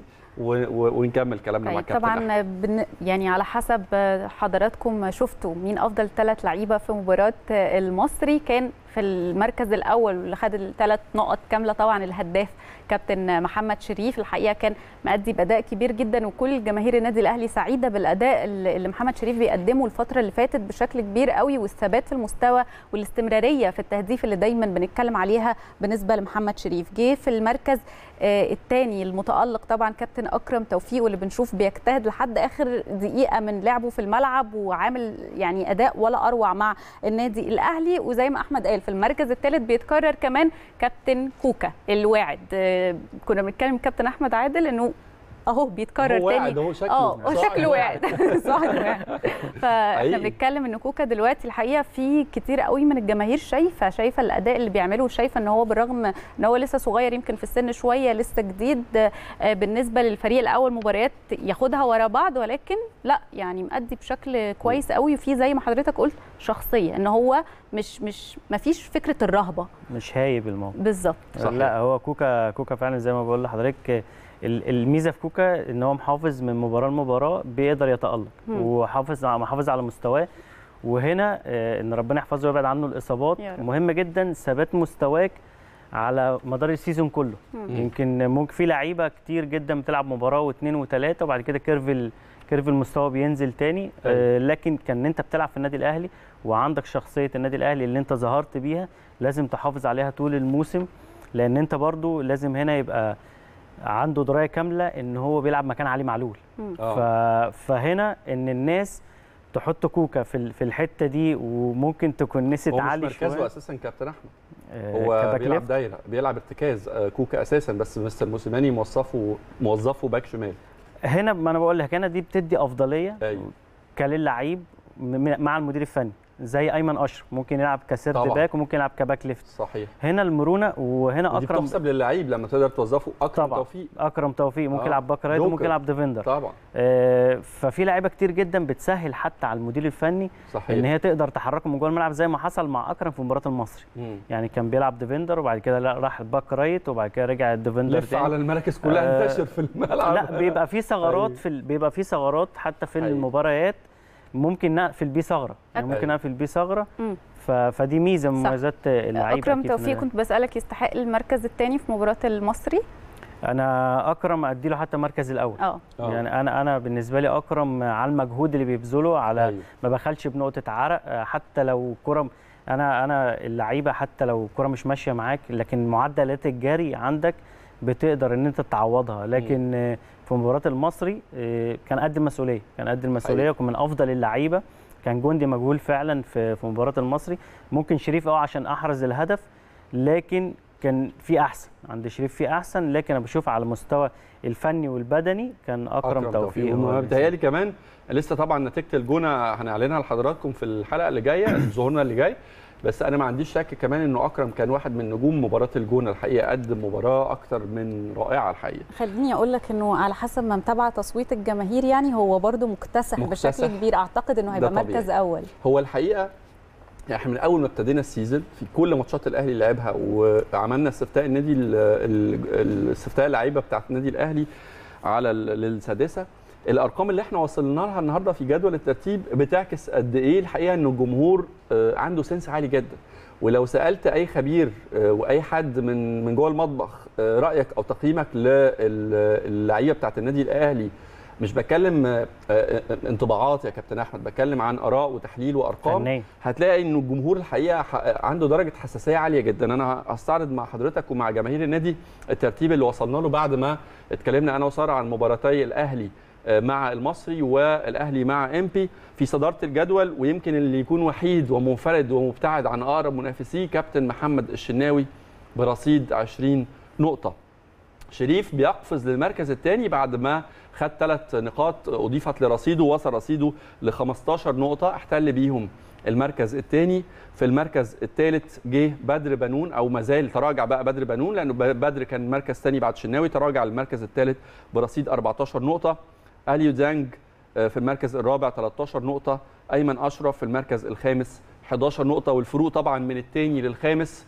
وحتى لو تابعنا بقية الجدول مع حضراتكم هي نقاط بسيطة جدا يمكن نقطة بتفرق مركز عن مركز دول أفضل خمس لاعبين لغاية اللحظة اللي بنكلمك فيها أو لغاية انتهاء مباراة المصري من وجهة نظر جماهير النادي الأهلي شناوي شريف بدر ديانج أيمن أشرف آه، هنا أنا بشوف إن. هتلاقي من اللعيبة دي هو عندهم شخصية النادي الأهلي.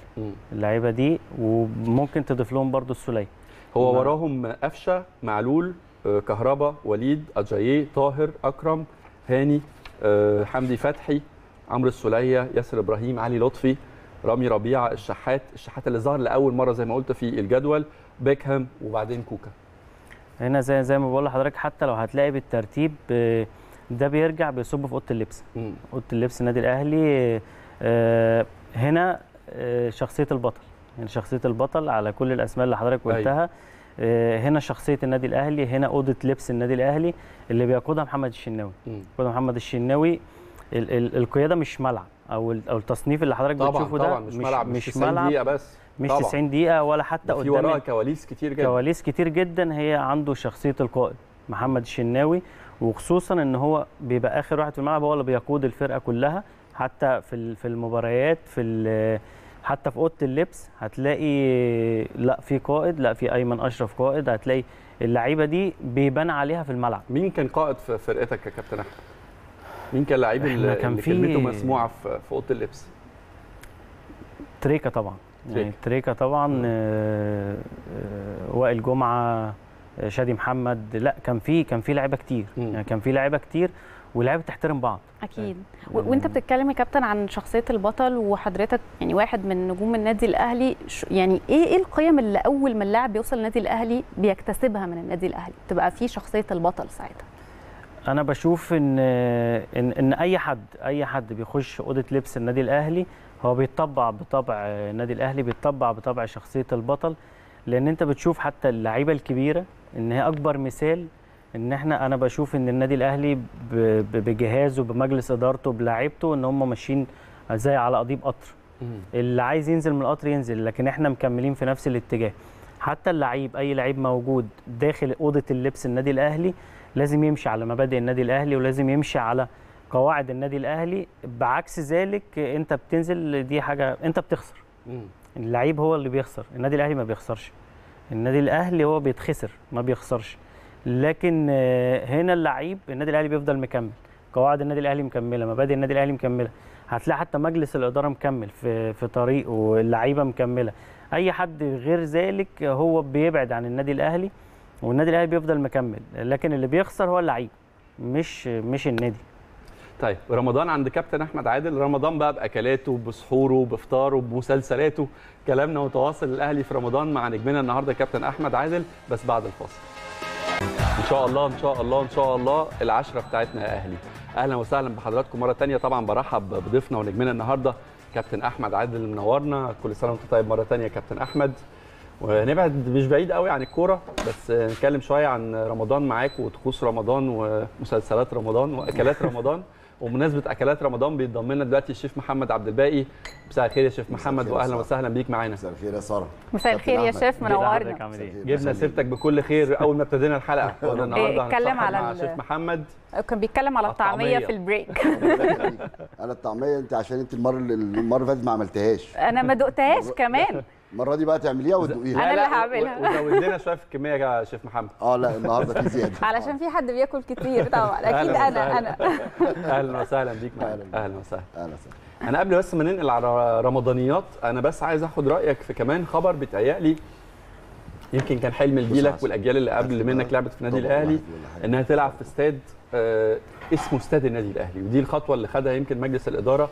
واللي تابعها وتابعها كل الاهلاويه امبارح بوضع حجر الأساس الخطوة الأولى في أعتقد يعني خطوة تاريخية بالنسبة لكل الأندية المصرية وللنادي الأهلي طبعا بالإعلان عن آه، تشييد استاد النادي الأهلي. رأيك إيه و- أكيد آه، وانطباعاتك إيه؟ أكيد حاجة مشرفة للنادي الأهلي ومشرفة لتاريخ النادي الأهلي يحسب طبعا لمجلس إدارة النادي الأهلي وهو وضع حجر أساس آه، استاد النادي الأهلي اللي مش بعيد عن طموحات النادي و- ومبادئ النادي وأهداف النادي. آه، حاجة كبيرة مشرفة لجماهير النادي الأهلي على كل أهلاوي إن هو يفخر بيها أكيد يعني. تفرق مع اللعيب وهو بيلعب في استاد بتاعه يعني طبعا الأهلي والسلام دلوقتي بنشوفه استاد عنده أو في شخصية الأهلي وفي روح النادي الأهلي وبالتأكيد فارق مع اللعيبة إنها تلعب في ملعب هو ملعبها آه، بتفرق مع اللعيب فكرة الملعب بتاعه والاستاد بتاعه والمدرجات بتاعته. يعني بالتأكيد أنت أكتر حد ممكن يقول لنا بما إنك أنت حسيت الموضوع ده. أكيد أكيد معنويا. آه. أكيد معنويا وخصوصا حتى وأنت داخل أوضة اللبس آه، وأنت أصلا بتتمرن في ال- في الاستاد بتاعك آه، آه، إن شاء الله يبقى في تواجد جماهيري حتى في مباريات أفريقيا نتمنى. وأنت وأنت وأنت بتلعب في الاستاد بتاعك وأنت بتتمرن حتى في أوضة اللبس الأجواء حتى أوضة اللبس بيبقى عليها شعار النادي الأهلي في أي مكان أنت موجود فيه أنت في الاستاد بتاعك ده بيديك وإحساسك آه. كمان إنك أنت نادي بمواصفات عالمية يعني النادي الأهلي لما بيبقى يعني بيعمل خطوة أو أو أو بيعمل حاجة بيبقى دايما بيحسسك إنه نادي لا يقل عن كل الأندية الكبيرة البارسا ال- ال- المان يونايتد ريال مدريد يعني تحس إنك أنت في scale تاني في مستوى تاني خالص. ما هو ده ده ده بيديك فخر يعني بيديك فخر حتى إن أنت كلعيب إن أنت بتنتمي للنادي الأهلي بكل ال- الإمكانيات دي. ده ده لا يقل طبعا عن أنت زي ما حضرتك بتقول بايرن عنده الاستاد بتاعه طبعاً. ريال مدريد عنده الاستاد بتاعه. كل فرق العالم عندها الاستاد الاستادات بتاعتها فدي حاجة أكيد هتضاف لتاريخ النادي الأهلي والمبادئ وقيم النادي الأهلي اللي بيمشي عليها مجلس الإدارة بأهدافها حاجة تضاف لتاريخ النادي الأهلي. أكيد. الاستاد هيبقى أحلى كتير يعني كلنا نتفق بالجماهير. النادي الأهلي بقى لها فترة غايبة والجماهير بشكل عام بقى لها فترة غايبة عن الكورة. شايف قد إيه كان يفرق جدا وجود الجماهير أو يفرق مع لعيبة النادي الأهلي وهي بتلعب في وقت زي ده وضغط مباريات كبير وبتمثل قد إيه يعني دعمهم للعيبة؟ هو أكيد تواجد الجماهير النادي الأهلي هو كان بيأثر حتى على الفريق المنافس للنادي الأهلي. مم. لما بيشوف تواجد جماهيري بتتكلم في طبعاً. 60 أو 60 أو 50 ألف متفرج لما موجودين. ده بنشوفهم في مباريات أفريقيا بيديك أنت الأفضلية وخصوصا جماهير النادي الأهلي. إن هي لا تكل ولا تمل طول ال 90 دقيقة. طبعاً. طول ال 90 دقيقة ما حدش بيقعد. آه، لكن ده بيديك أفضلية بيديك رهبة حتى للفرق المنافسة للنادي الأهلي. ده حتى بينزلك المباراة. حتى وإحنا في التسخين يمكن م- م- 60000 أو 70000 بينادوا عليك انت كلاعب فالفريق الصخر زي ما بيقولوا مم. طبعا آه طبعا بيتهيألي وانت نازل الملعب يعني يعني عشت دوت إحنا كنا في مباراة برشلونة كان في حوالي 100 100000 أو 110000 في استاد القاهرة وكلهم أهلي ف...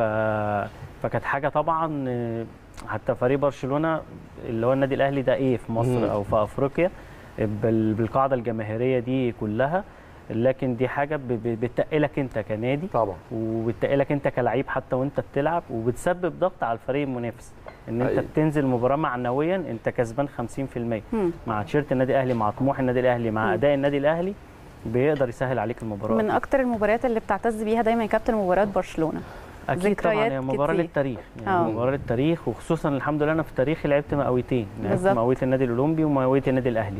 آه هنا لعبتها مع النادي الأولمبي ضد النادي الأهلي ومباراة النادي الأهلي لعبتها مع مع. مع برشلونة وفي كانت مباراة تانية بنفيكا مم. لعبنا برضو بنفيكا في مباراة تانية فدي من ضمن المباريات اللي بعتز بيها أكيد. ماتشات رمضان تفتكر منها حاجة ماتشات رمضان أفتكر منها أسيك طبعا آه أسيك في أبيدجان لأن هنا كان في كان مستر مانويل عايزنا نفطر تفطروا نفطر آه لكن آه، أبو تريكة كان ليه على الراجل شوية. مستر مانويل جوزيه بيسمع له يعني بيسمع له آه. بيسمع له وقال له حتى إحنا كنا بنصلي الفجر آه، اليوم دوت كان وائل جمعة مجمعنا بنصلي الفجر في طرقة يوم. الماتش يوم الماتش يوم يوم, ال- الماتش. يوم المباراة كنا بنصلي الفجر كلنا حتى أبو تريكة خد خد رأينا إن أنتوا الراجل تفطروا ولا تصوموا؟ تفطروا ولا تصوموا فانت قلت طبعا نفطر أنا قلت نفطر أنا على الأغلبية الأغلبية قالوا نفطر أكيد أنا لا. قلت قلت لتريكا سيبني أصلي وأقول لك بعد لا لا فكان أحسن اختيار بصراحة إن آه. إحنا فعلا آه، تريكا قعد مع الراجل قال له إحنا الفرقة كلنا آه، إحنا يمكن أول مرة يمكن مستر مانو كان من الشخصيات ال- الكلمة كلمة آه. آه، ياخد قرار قرار فهو إن إحنا زقنا عليه أبو تريكا شوية يعني ف... فقال لنا لا خلاص أنا خدت قرار من الراجل ان إحنا إن شاء الله هنصوم ويمكن كسبنا المباراة دي آه، 1-0 مم. وكان فريق أسك أبيجان بقى له 14 سنة ما بيخسرش على ملعبه. آه. يا بيتعادل يا يا بيكسب. أيوة. الحمد لله كان في دور ال 16 في دوري أبطال أفريقيا. واتاهلنا بيه لدور الثمانيه يعني الهدف دوت بتاع أبو تريكة. وكان خير علينا أكيد يعني حالة. الصيام أكيد. إيه قصتك مع المطبخ في رمضان؟ لا أنا مطبخ باكل بس. لا أنا أكل بس. ما عديش حتى قدام المطبخ. أكيل طبعا يا كابتن أحمد؟ لا أنا ليا أكلات معينة. يعني آه. أنا ليا أكل معين هو صعب شوية زي يعني إيه؟ صعب على على مراتي يعني. ف... بس هي يعني حبا. بتعمله لي بتعمله لي آه بتعمل. إيه الأكلات دي يا كابتن؟ أكيد محشي يعني. محشي. صعب المحشي. تهيألي سهل يعني. اي حاجة يا سارة بالنسبة لك سهلة طبعا. طبعا. أنت بتتكلمي في ده ده إيه؟ بريمو آه، أستاذة زهرة سألي في الأكل. صح. إيه غير المحشي؟ محشي كرنب آه، ممبار تمام. إحنا عندنا في اسكندرية عصبان يعني آه. ممبار. ف- في اسكندرية إيه؟ أنت اسكندراني يا كابتن أحمد؟ عصبان آه اسمه كده؟ عصبان آه. انت عندكم كتير ك... يعني أنتوا الجبنة الرومي بتهيألي بتقولوا عليها تركي. تركي, جبنة مثلاً، تركي؟ آه. آه. لا أنا عشت في القاهرة 15 سنة آه. فطبعت أنت عندك شوية. القاموس. أنا عندي عندي آه. آه. أنت عندك ده وده. أجي القاهرة أتعامل لغة هنا. وتتكلم لغة هناك. لا والجنيه جنيه جنيه، آه. جنيه آه. والشاي آه، شاي. شاي. آه. في حاجات كده آه. اسكندراني اسكندراني. أحسن ناس طبعا كل سنه وكل اسكندريه طيبين وبخير. آه، آه، في حد من اللعيبة بي- بيعمل أكل بيطبخ بي- آه، بيأكلكم أو أكلكم مرة قبل كده بيعمل أكل شاطر يعني؟ لا أنا بحكم إن أنا كنت قاعد أنا وأحمد صديق في شقة لوحدينا آه كان صديق بيعمل لك يطبخ بخليه يطبخ. آه بيعمل أكل حلو. آه بيعمل أكل. اتعلم يعني هو اتعلم هو كان عايز يعلمني لأن آه. إحنا قاعدين لوحدينا. فيقول لي كل يوم أنا هعمل أكل. فاقول له آه انت لا ده لا إينو اينو في معسكرات. اينو بيعمل أكل. آه يعني آه. اينو ال- يعني بيشوط وبيعمل أكل. آه بيش- بيشوط في الأكل. بمناسبة ال- التلفزيون بقى في رمضان بقى تشوف أكتر مباريات ورياضة ولا مسلسلات ولا الاثنين بقى؟ لا هو رمضان ليه طقوسه. يعني مم. ليه طقوسه. يعني ببعد عن الرياضة شوية. آه، مسلسلات يعني مسلسلات مع قرآن طبعا. أكيد. يعني مع قرآن طبعا دي قبل الفطار. لكن فيما بعد ال- الفطار يمكن بجانب شغلي شوية آه، مسلسلات ومسلسلات معينة يعني. اللي هي بتتفرج على إيه؟ الاختيار يعني مم. ده دي أكيد. حدث أكيد مهم في في, في تاريخ مصر و في رسالة كبيرة في المسلسل رسالة ده كبيره وعلى المستوى الدرامي شوية آه، لعبة نيوتن بتاع أنت عايش مع حازم وهنا حازم وهنا ومؤنس. مصر كلها عايشة مع حازم.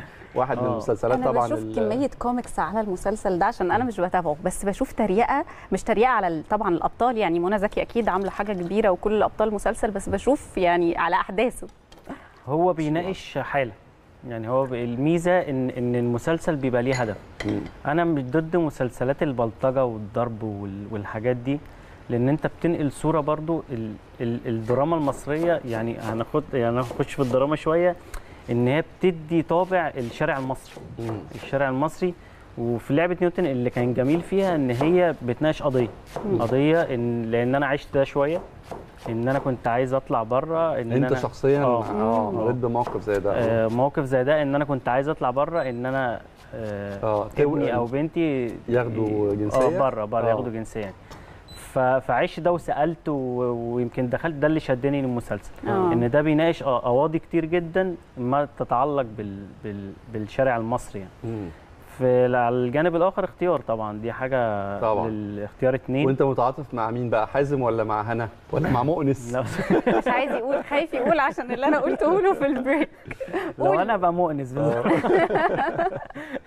لا مع حازم طبعا. ضد ضد الرأي يا أستاذة سارة. لا هي مصر كلها مع حازم اطمن ما تقلقش يعني. دي أهم أكيد حاجة. الرجالة أكيد الرجالة بس. لا طبعا مع كامل احترامي لمنى زكي واحد من أروع أدوارها وهي واحدة من أهم نجمات رمضان السنة أنا بحب. محمد ممدوح جدا. ومحمد ممدوح. لا هو ال crew كل ال cast كله. وفراج طبعا. فراج عامل. دور عالمي. آه، محمد ممدوح منى زكي فراج فنان عاملين. أدوار آه، واللي خادمهم طبعا إن في دراما وفي قصة وفي موضوع يعني في مساحة للممثل اللي عايز يبدع إنه يبدع والحقيقة هم الثلاثه أجادوا بس برضو ما يمنعش إن مصر إن كلها حازم، ضد. كلنا. أنا كده ده أتفرج. على المسلسل عشان برضه أقول رأيي يبقى متأكدة منه مين الصحاب اللي لازم تتلم معاهم في رمضان كابتن أحمد وكورة ولا من بره كورة يعني آه، الناس القريبة من أحمد عادل لا الناس اللي قريبة مني آه، في اسكندرية شوية أصحابي آه، في طبعا العجيزي. الكورة طبعا ده ده أقرب حد ليا بره الكوره بقى في في كابتن اوشا ده المدير الاداري بتاع النادي الاولمبي آه، حموكشه آه، نينو في محمد صلاح اللي هو ال back left اللي كان بيلعب في منتخب مصر مع كابتن حسن شحاته. في اسماء كتير جدا عشان ما انساش حد بس آه، في كيمو صاحبي. رمضان اتغير يا كابتن احمد؟ يعني يعني آه، آه، بتحس إنه طبعا آه، يعني آه، جائحة كوفيد دي طبعا أثرت بشكل كبير جدا في في حياة الناس عموما وبالتالي كمان أثرت شوية في رمضان. وعايز أعرف رأيك هل في حاجات اتغيرت في في في- في رمضان اللي أنت اتعودت عليه طول عمرك بطقوسه بالحالة اللي بيبقى بيعملها ولا شايف إنه رمضان لسه زي ما هو؟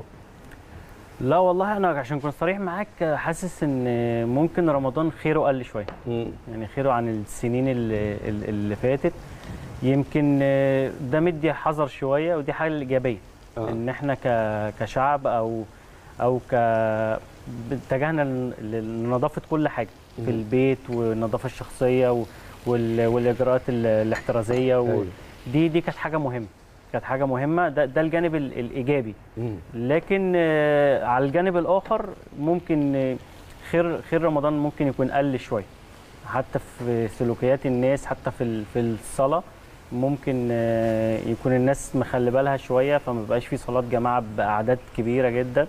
فدي حاجات م- مأثره يعني أكيد. إيه أكتر حاجات أصلا بتحبها في طقوس رمضان؟ يعني فكرة مثلا صلاة التراويح ال- القرآن المسلسلات ال- يعني في في كذا حاجة في رمضان. إيه أكتر حاجات تبقى مستني رمضان يجي عشانها؟ آه، هو التجمع. تجمع. العيلة اللمة يعني. اللمة. اللمة آه، اللمة ال- العيلة الصحاب آه، حتى لعب الكورة مع مع بعض إن آه. إحنا بنجمع حتى أنا الفترة الأخيرة بقيت بجمع كل الناس اللي هم الجيل بتاعي من زمان جيل 84 و83 بقينا. بنتجمع وبنلعب كورة مع بعض وبنفطر مع بعض وبنتسحر مع بعض فدي عزومه. فيها أربع أشخاص تختار مين يكونوا مع عزومة من كابتن أحمد عادل تعزمهم على الفطار مين يكونوا موجودين الكوره ولا؟ بره الكورة؟ زي ما أنت تحب. من صحابي يعني؟ آه يعني اللي انت اللي انت تحب إن هم يكونوا موجودين معاك على الفطار. هو اللي أنا كنت بتمناه آه، آه، والدي الله يرحمه. آه. الله يرحمه الله يا رب. دي- آه، كنت أتمنى هو يبقى موجود معايا. يمكن عشان مش عايز أقلبها شوية ف لا إزاي ربنا يرحمه أكيد ندعي له. في ال- في. الأيام المفترجة دي آه، العجيزي طبعا. ده من أهم الناس اللي في حياتي آه، كيمو آه، صاحبي ده عشرة عمري آه آه، آه، بجانب طبعا والدي والدتي آه، يعني والدتي طبعا ربنا يخليها لي دي من أهم. الناس اللي في حياتي في كابتن أوشا بقى ده, ده طبعا آه، شخص عزيز عليا جدا وفريد يعني طيب بمناسبة ناس. اسكندرية اللي إحنا كنا لسه بنتكلم عليها و- و- و- استاكوزا على التليفون كابتن آه. أحمد حسن استاكوزا يا كابتن أحمد مساء الخير وكل سنة وأنت طيب مساء النور وكل سنة وأنتم طيبين ورمضان كريم عليكم. الله أكرم كابتن أحمد آه، دكتور احمد عادل طبعا أنا مش هقول إن هو نسي اسمه مش قلت لك؟ كده عنده عزومة في اسكندرية. وأنا سعيد طبعا إن أنا بسمع صوته. والله ربنا يعلم الظروف الموقف اللي أنا فيه حاليا. بس طبعا آه، النادي الأهلي وكابتن أحمد عادل ما أقدرش أتأخر عنه خالص. وأنا سعيد إن أنا سمعت. المهم المهم خير يا كابتن أحمد. طيب التليفون فصل هنحاول نتواصل مرة تانية مع كابتن أحمد حسن. هتزعل مني. نتمنى إن شاء الله يكون خير. لا ما أنت لا، مش هتعزم مصر كلها يعني. هو قال لك ممكن تعمل أربع أشخاص. عزومة الأولانية وبعد كده تعمل ما هو عزومه أنت ثانية برضه إيه أربع أشخاص؟ دي أربعة لزوم بس. رمضان بيحب اللمة يا أحمد. أربع أشخاص بس. ما أنا قلت برضو على الضيق كده عشان ما نكلفش راجل كتير. يعني بمناسبة الكلام كتير على. اسكندرية كتير ذكرياتك بقى مع الأولمبي السكندري أكيد ذكريات كتير وأنت بتعتز إنك كنت في النادي. ده لا هي من أحلى سنين حياتي صح؟ يمكن من أحلى سن- سنين حياتي وخصوصا إن هي هي اللي خلتني أنتقل للنادي الأهلي. آه على مستوى مدربين على مستوى التربية اللي أنا تربيتها داخل النادي اتربيت على أسس وما تختلفش عن النادي الأهلي. ما تختلفش عن النادي الأهلي ال- إن أنا يبقى عندي أصل مع النادي إن أنا بدي النادي أقصى ما عندي آه، وخصوصا حتى مش بالمقابل المادي يمكن أنا كان في لعيبة بتاخد أرقام جاية مغتربة من بره بتاخد أرقام كبيرة جدا في العقود. يمكن إحنا كنا حوالي ستة أو سبعة لعيبة عقودنا صغيرة جدا. بس إحنا كنا نحب النادي. يمكن أنا الحمد لله على تواصل حتى مع مجلس إدارة النادي الأولمبي لحد دلوقتي بقياده طبعا كابتن طارق السيد وأعضاء مجلس الإدارة ويمكن أنا اشتغلت في النادي الأولمبي شوية كمدير كورة. ويمكن ده بيتي البيت اللي أنا تربيت فيه وشفت منه خير. فحتى لحد دلوقتي من بعد أنا مشيت من النادي الأولمبي سنة 2006 طب يعني خلينا هكمل في النقطة اللي معاك لأن في أكتر من من حاجة حابب يعني تنقل فيها وجهة نظرك للناس. بس خلينا كابتن أحمد حسن رجع لنا مرة ثانية على التليفون. مرة ثانية برحب بيك كابتن أحمد. والمهم بس ن- ن- يعني كنت بسألك أو بطمن منك المهم الظروف اللي أنت بتمر بيها تكون خير. طمنا عليك و... لا الحمد لله كله جميل طبعا. طب الحمد أنا لله. كفاية إن أنا سمعت صوته وس- وسمعت صوت كابتن احمد آه، من الناس اللي قريبة قوي لقلبي ومن الناس اللي بحبها جدا طبعا وبحترمها آه، سواء فنيا أو سواء كثقافه لعيب في ال- في الملعب وخارج الملعب بعد ما بطل. وأتمنى له طبعا التوفيق لأنه حد مجتهد وحد محترم جدا. بس ليه عنده عزومة برضه باكد تاني؟ أنا عزمت أنا مش عزمتك؟ قلت لك لازم تيجي لي النادي هو أساسا يعني كريم ولا نص نص؟ يعني نص قول الصراحة قول الصراحه أقول أقول لهم أقول لهم أنت كنت بتعمل إيه في أقول لهم أنت كنت بتعمل إيه في العيال استاكوزا لا قول قول يا كابتن بقى. لا قول أنا بحب كوزة؟ الحاجات دي. أقول لهم كنت بتعمل إيه في العيال؟ في جديد وفي لا، لا. صديق وفي عاشور؟ بص يا كابتن أنا طبعا بصيت الأول كل سنة وأنتم طيبين. وعارفين مش ناس تزعل مننا آه، طبعا آه، ال- الفترة دي كانت فترة طبعا جميلة الحمد لله اللي يمكن كانت آه، في ناس كتير ممكن تتخيل إن برغم إن إحنا دايما بنتكلم على التركيز و- وإن إحنا حتة الهزار دي بتبقى قليلة لكن كان الميزة إن كان كل كل لعيب ساعتها كان عارف أهمية النادي الأهلي وقيمة النادي الأهلي وقيمة جماهير النادي الأهلي فكنا بنأدي في الملعب فكان عندنا مساحة خارجية شوية يعني. آه. وكانت حتة النتائج وحتة تركيزنا في الملعب كانت يمكن هي دي اللي مدينا آه، مساحة شوية إن إحنا ممكن بيبقى في حتة فان خارجي شوية بس برضه في حدود الالتزام وفي حدود الإحترام. وطبعا في مواقف كتير طبعا أتمنى طبعا إحنا ما نخرجش من بعيد عن كل سنة وأنتم طيبين ورمضان كريم. آه، واحمد عادل طبعا أنا سعيد جدا إن أنا سمعت صوتك. ده الناس برضه أنا بكرر تاني من الناس اللي بحبها جدا والناس اللي قريبة من قلبي جدا. وأتمنى لك يا رب التوفيق يا رب إن شاء الله بإذن الله في اللي جاي. أشكرك جدا أحمد. يا كابتن. أحمد. كل سنة وأنت طيب. كل سنة وحضرتك طيب وجايبين لك كل الحبايب النهارده. معانا النجم طبعا كابتن معتز إينو. كل سنة وحضرتك طيب ومنورنا على شاشة قناة الأهلي. مساء الخير عليك يا سارة وأستاذ أحمد. طبعا كل سنة وأنتم طيبين منور الدنيا يا كابتن إينو. حبيبي تسلم. كل سنة كل سنة وأنت. طيب.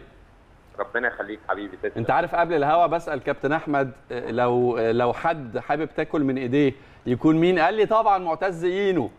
يعني حسسني آه الشيف إينو. قلت له يعني شويت كده في المطبخ زي ما هو شويت في الملعب. قال لي آه 10 على 10 حبيبي. مصياتك أهو. مسياتك أهو. أيوه أنت هتقول لي. يا رب بس تجيب الحاجات الحلوة ما تجيبش الحاجات الوحشة. طب بقول لك إيه أخبار الكنافة والقطايف إيه؟ أنت عارف بناكل قد إيه. لا على طول إينو كان بعد يعني بعد ما نيجي بنتمرن بعد ال- بعد الفطار. فيجي طبعا كابتن حسام البدري كان الأوزان. إيه الكيلو كان عليه 1000 جنيه صح؟ آه وأنا كنت باكل 2 كيلو قطايف يعني. 2 كيلو. أقول له ال 2 كيلو دول إيه؟ يقول لي قطايف. حبيبي يا اينو وأنا طبعا اينو نجم كبير وأنا بحبه جدا و... وإحنا كنا بيربطنا علاقة يعني أخوية. أخوية ب- بره الملعب دي كانت بت... بتبان في الملعب. يمكن زي ما قال إستاكوزا ومع اينو طبعا الحب اللي كان بينا حتى لحد دلوقتي يمكن أنا سايب النادي الأهلي من 2008 ولحد دلوقتي على تواصل مع بعض أنا وإستاكوزا وإينو وصديق وعاشور وجديد و... وكل اللعيبة وكلنا كأخوات بنحب الخير لبعض. مم. فدي أهم حاجة كنا حريصين عليها وحريصين عليها لحد دلوقتي يعني. كابتن إينو. لا هو خلاص هو ده هو هو المداخلة لأحمد لا يا كابتن عايزين نعرف منك برضو أكتر المواقف كده اللي مع كابتن أحمد عادل اللي ممكن يكون صعب أصلا إنك تقولها على الهوا كده. نفضحه شوية زي ما هو. مواقف كتير بلاش. لا لا عايزين نعرف. لا هو عادل طبعا أنا عايز أقول حاجة بعيدة عن الكورة خالص. عادل من الناس المحترمة عشان هو قاعد على فكرة. بس فعلا من الناس المحترمة جدا جدا جدا بره الكورة. أنا كنت يعني يعني مشيت 2012 أنا مشيت بعديه حوالي بأربع سنين. أنا زعلت جدا اللي هو مشي بس هي دي سنة الحياة. لكن طبعا عادل أثر فينا كلنا من بعد ما مشي ومن اللعيبة المهمة جدا كانت في النادي الأهلي.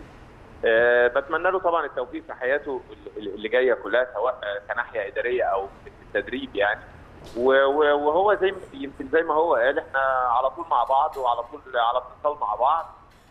آه، فيعني إحنا انت عارفة الكورة هي يعني مش- مش في الملعب بس. يعني. اللي أنا عايز اقوله اللي هي مش في الملعب بس لا إحنا كمان علاقتنا اخويه للأبد يعني إن شاء الله. فبتمنى له كل التوفيق هو من الناس المحترمة جدا جدا. وهو عارف بقى أخويا وحبيبي وكان عيش وملح مع بعض وهزار وضحك وكل حاجة. يعني حبيبي يعني طيب يعني أنا بشكرك شكرا جزيلا. وأنت يمكن ال- القاسم المشترك بين كتير من لعيبه النادي الأهلي. واضح إنك أنت محبوب جدا كابتن إينو. كل الناس بت بتعزك وبتحبك جدا. ونتمنى نشوفك إن شاء الله معانا هنا في الاستوديو على شاشة الأهلي. شرف ليا طبعا إن أنا كنت موجود معاكم وقناة الأهلي ده بيتنا الكبير طبعا. طبعا. وبتمنى إن شاء الله لعادل التوفيق في حياته زي. ما قلت. وأنا علاقتي بكل اللعيبة الحمد لله كويسة وما شفناش مع بعض إلا كل خير ومحبة يعني. وبطولات مع النادي طبعا. طبعا. فهتفضل حياتنا وعلاقتنا للأبد زي ما قلت. طبعا طبعا. كل ما هو مرتبط باسم النادي الأهلي دايما بيكون خير ودايما بيكون جميل ودايما بيبقى فرحة ونتمناها كده دايما على طول. بنشكر كابتن معتز إينو. كل سنة وأنت طيب أنت وكل أسرتك وحبايبك. وابتديت تجوع ولا ما بتسحرش بدري؟ هي ريحة الأكل جوعتني ابتدت آه. انت سحورك إيه خفيف خفيف وفي البدري بدري ولا تحب تسحر قبل الفجر على طول؟ لا أنا يعني خفيف خفيف خفيف يعني خفيف. لأن ما بحبش آكل وأنام ف... فبصلي الفجر حتى بقعد بعد الفجر كده بشوية أيوة. ساعة ولا حاجة وبعد كده يعني. ما بتسحرش حاجات تقيلة. لا لا مش تقيل طيب ليك أي special request قبل ما نروح للشيف محمد عبد الباقي؟ لا ولا بيض مسلوق من لو مني أنا يعني يعني الشيف يبقى موجود وأنا. وأنا اللي أعمل السحور ينفع كده يا شيف؟ طب إحنا جاهزين عندك يا إيه يا شيف؟ محمد؟ لك؟ ندوق السحور من إيدك مره لا بلاش يا شيف أنا طب بلاش. الطعمية. طعمية كمان. تيجي الا في الفتة والمحشي بس. لا ما باكلش فتة ما بحبهاش بس أحب المحشي. عشان ساعتها. تبقى القاضية ممكن يعني يبقى القاضية ممكن في الملعب بامضاء كابتن قفشة والقاضية ممكن في البيت ال- عليكم. في بيت النادي الأهلي وعلى شاشة الأهلي بت- بتوقيع سارة محسن. مش على الهوا. بس الفول الفول شكله عالمي. الفول شكله. آه. طيب خلينا نروح نشوف الفول شكله والطعميه عاملة إيه بس بعد الفاصل مع الشيف محمد عبد الباقي.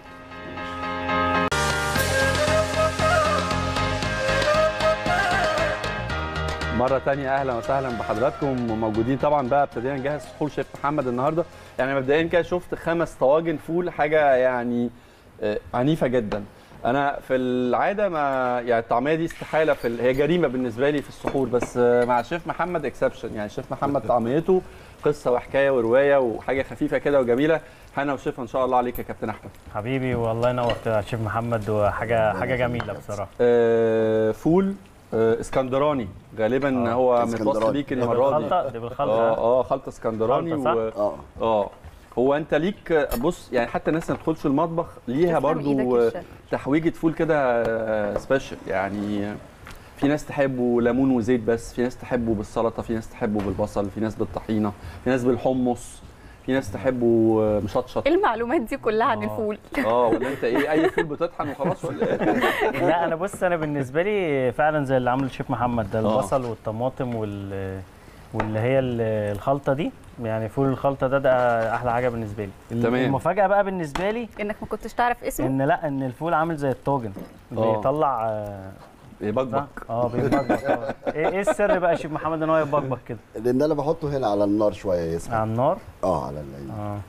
لا. سحورك إيه اللي ما إيه اللي مش ممكن يغيب عن سحور أحمد عادل؟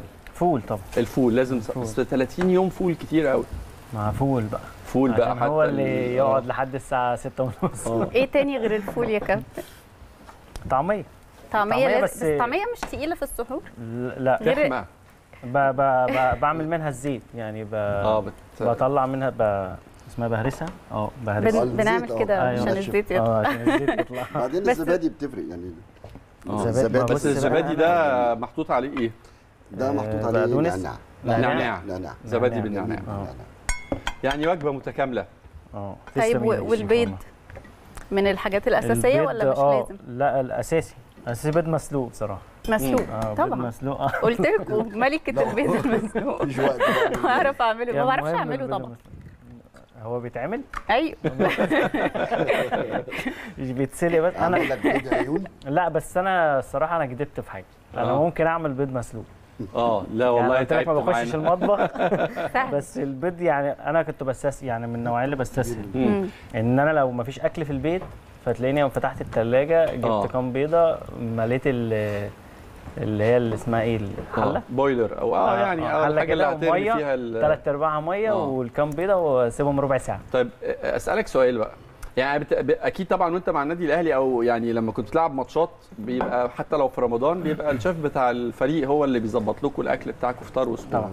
لكن هل صدفة مرة آه، آه، سفرية فسحة زيارة أهل رحت مكان شفت فيه أكل غريب في فطار أو في سحور؟ لا أنا كنت بشوف أكل غريب في أفريقيا. آه.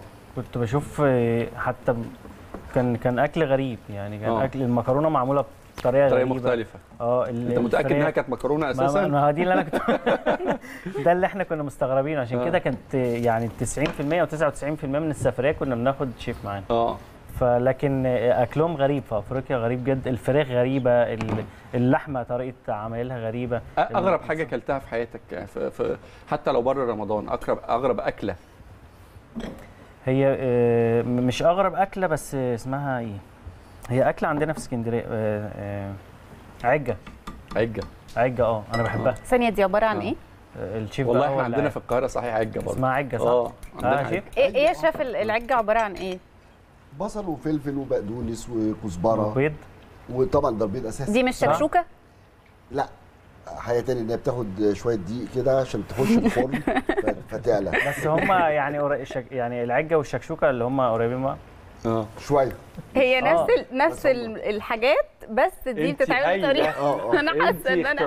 قعدة المطبخ مش بتاعتي أصلا المعجزة لا طب أنا طب أنا في أنا في أكلة تانية بس ما أعرفش الناس مش بتاكلها ليه آه اللي هي كشك آه لا كشك ليه الناس بتاكله عادي أنا في ناس كشك. بالجمبري صح؟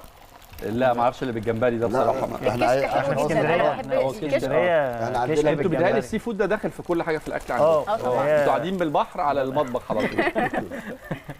لا أنا حتى فعلا أنا عندي في حتى أنا عشان في العجمي فالماكس جنبي اللي هي الماكس. فدي برضو بتاعت سمك وحاجات كده. آه. ففعلا بتبقى قريبة كده فبجيب من هناك على طول. آه. جريء في الأكل؟ يعني لو رحت في عزومة ولقيت ناس عاملة أصناف غريبة أو حاجة أنت ما أكلتهاش قبل كده تدوس ولا مالكش في اللي أنت متعود عليه وحافظه بس؟ بص أنا ممكن الناس تشوفها حاجة غريبة فيا. آه. بس أنا شايف إن إن أنا لما ببقى جعان باكل أي حاجة.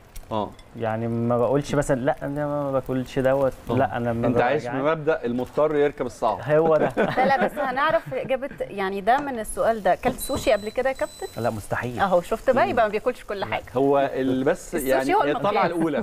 أنت تجرب الطلعة الأولى جربت. وبعد كده جربت. وأنا جربت ما- وندمت بصراحة. آه ما مغص غير عادي. وكانت حاجة حالة رهيبة. يبقى أكيد سارة هي اللي كانت عاملة السوشي ده أكيد. لا أنا أكلت في أحد الأماكن اللي هي يعني نمبر 1 في في مصر في. القاهرة. ف حتى أصحابي طب يا ابني تعال. لا وأنا يا ما كابتن في هي أول مرة برضو معايا كانت صعبة جدا بس بعد كده حبيته يعني آه. بقى لطيف.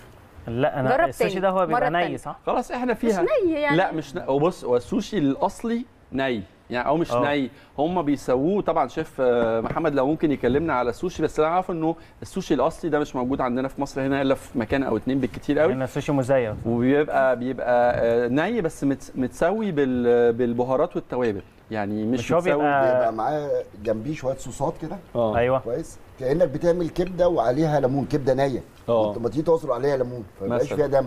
آه. هم بياخدوا ال- السمك مثلا سمك التونة بيبقى. رقيق قوي أو سمك أيوه هو سمك التونة سلمون. ده أيوه آه فبيتحطوا في الصوص في الصويا صوص في مم. في بعض الصوصات صويا كده هم صوص حلو بيطلعوا. آه مم. صوصات جنبيه والترياكي صوص آه بتحطه بس في الصوص كده كأنه بيستوي آه لأن هو إيه بيقوي ده يعني أنا كنت لازم أحطه في الصوص قبل ما أكله؟ آه آه، هو عشان بيفرق يبقى ده له طعم- السوشي ده السوشي طعمه لا بس اللي أنت جدا. أكلته أنا متأكد انه سوشي. يعني السوشي اللي هو متسوي بقى ب... يعني fried، آه. fried بالظبط كده هو بيبقى كان جواه رز كده أو آه. حاجة آه ما هو بيبقى آه، مع هو ده. رز. آه، مع جمبري مع. سلمون مع حلو جدا جرب مرة تانية طب ال- المطبخ الهندي بتحبوا ليك في الأكل ال spicy بقى والأكلات الهندية لا أكلات هندية لا لأن الصوص طبعا حاجة حراق جدا. حراق جدا بس أنا بحب الحراق بس في المكرونة مم. في المكرونة يمكن أنا حتى الأوردر بتاعي بيبقى مكرونة بتبقى بصل وسبايسي بس مم. ال- حتى اللي هي البنة بس ما بحبش فيها ال- الزيتون والجبنة بس وال- أنت كده بتحب بقى المطبخ الإيطالي يمكن أكتر حاجة آه، بقى آه. مكرونة وبيتزا وكده ده بالنسبة لي رقم واحد يعني مم. المكرونات آه، بانواعها مم. أكتر مقلب شربته في أكلة قبل كده كان إيه مقلب آه، هو السوشي. هو السوشي. آه. يا ريتنا ما فتحنا الموضوع ده. تجربه يعني ما تنسيتش مريرة. آه. مريرة. لا كانت آه، التجربة ما أقدرش انساها بصراحة. كانت من صحابي يعني فهم كانوا عايزين يعملوا مقلب فيا. طب تحب انت عمرك عملت مقلب في حد؟ يعني وديتهم عزمتهم في مكان كان ضايع الأكل مش حلو؟ لا صحابي اللي هم أنا بحس إن هو إنف يعني إنف في الأكل كده ما بياكلش أي حاجة. فب يعني أقول له يلا عزمك عزومة في أصحابنا وأجيب له أصحابنا اللي هم كلنا بقى مع بعض آه. إحنا رايحين. فوديه مثلا مصمت اللي هو بقى الكبد الكرشه كوارع وال أيوه، هو آه. ده. آه آه. أنا بقى يعني هتعيط. لا. ما هو أنا الأكل ده بالنسبة لي حاجة مقدسة. آه. تمام؟ اللي هو الكوارع وال... ليك والكرشه فيها. دي آه حاجة. دايس يعني. أنا قوي. آه. فوديته يعني في في, في ناس مثلا مع احترامي الناس يغمى هنا- عليها. آه. يعني آه مجرد إن هو بس يدخل يبص من قبل ما ياكل يبص هو لقى ي- طبق الكرشه اتحط قدامه فهو ي... إيه، أنت كده صح؟ أنا كده جيت غلط صح؟ إحنا اللي جينا كده. غلط لأنه الطبيعي على فكرة ده الطبيعي يعني. لا فلقى نفسه قدام طبق كرشة. آه. طب أنا مش عايز أوصف له الكرشة دي هي إيه؟ آه. فما ينفعش. بص ال reactions. بتاعت أحمد ريت ما أصلا. توصفش يا كفاية كده. ف... فأنا ده بالنسبة لي حاجة فلاقي مثلا إيه هو إنف قوي. يعني لا لازم المعلقة ممسوحة ومش عارف إيه. وأنا هاكل. أيوه. الحاجات دي ما. فيهاش شوكة وسكينة لا ومعلقة ده وكده. معلقة إيه ما في كوارع بتتاكل آه. بالشوكة ما ينفعش. آه. بالإيد. دي عايزة مفك عايزة مفتاح إنجليزي. هي مش على هواكم خالص. بس بمناسبة اسكندرية يا كابتن إيه أكتر أكل في ال seafood بتحبيه؟ يعني أنا بعشق ال seafood بكل أنواعه بحبه جدا بقى ده ما أنتوا في اسكندرية ممكن تفطروا seafood. أصل إحنا في مصر موضوع الأسماك ده بيتهيألي يا سارة صعب الناس تفطر صعب سمك. بس بعملها برضه. بتعمليها آه. آه. ناس بتخاف نفطر اللي هو الصبح ولا في رمضان؟ لا في رمضان. لا في رمضان أنا عادي. يعني أنا مثلا يعني رمضان إحنا 21 رمضان ممكن تلاقيني مثلا 15 يوم seafood. 15 ياه. يوم. لا آه اللي آه هو نص ال- عادي. مم. آه. يعني لسه النهارده آه، فاطر سردين. امم هنا وشفا. آه. وجمبري جامبو بقى. جمبري جنب آه. واستاكوزا وكابوريا. لا استاكوزا لا ممكن كابوريا آه، يعني ال- الأساسي أنت أي حاجة جاية في استاكوزا النهارده أنت واقف ضدها كابتن أحمد حسن استاكوزا لا. و... لا مش استاكوزا أنت. لا. والكبدة الإسكندراني والسجق الإسكندراني. آه ده ده أساسي. يعني السجق اسكندر اللي هي الك... عندي بقى الكلاوي القلوب. إيه ده؟ الحاجات دي. أمال إيه؟ ده أنت ما بتسيبش أي حاجة في الضحيه يا كابتن أحمد. دي, دي اللي هي زي الكبدة. الكبدة حلوة جدا لا الإسكندراني. الكلاوي والقلوب. صح يا شيف؟ أنا آه. ماشي معاك كده؟ آه. آه، بتاكل الكلاوي الكلاوي والقلوب؟ لا انت لازم والله. تنزل لي س- انت لازم تنزل لي اسكندرية. أنا جاية. لا بجد أنا جاية والله. أشوف الموضوع خلاص ده. إحنا كده اتفقنا على عزومة في اسكندرية. أكيد. أنا أنا seafood وأنت وسارة على الكرشة وال بس وال- خلي بالك أقول لك على حاجة. لو وال- أكلت الكلاوي والحاجات دي آه بس- تقنعني أنت بتبيع لي الفكرة. أنا هروح ألاقيك قاعد في المطعم هناك. نورت الدنيا يا كابتن أحمد. نسيبك تتسحر. بالهنا والشفا ويعني ميرسي يا سارة على المجهود العظيم جدا في موضوع ال- السحور النهارده. أشكرك شكرا جزيلا. واقول للناس بس آه، ميرسي على متابعتكم لينا. كل سنة وأنتم طيبين. نتمنى تكونوا قضيتوا معنا وقت ممتع. ونشوفونا وتتابعونا إن شاء الله كل يوم في الأهلي في رمضان.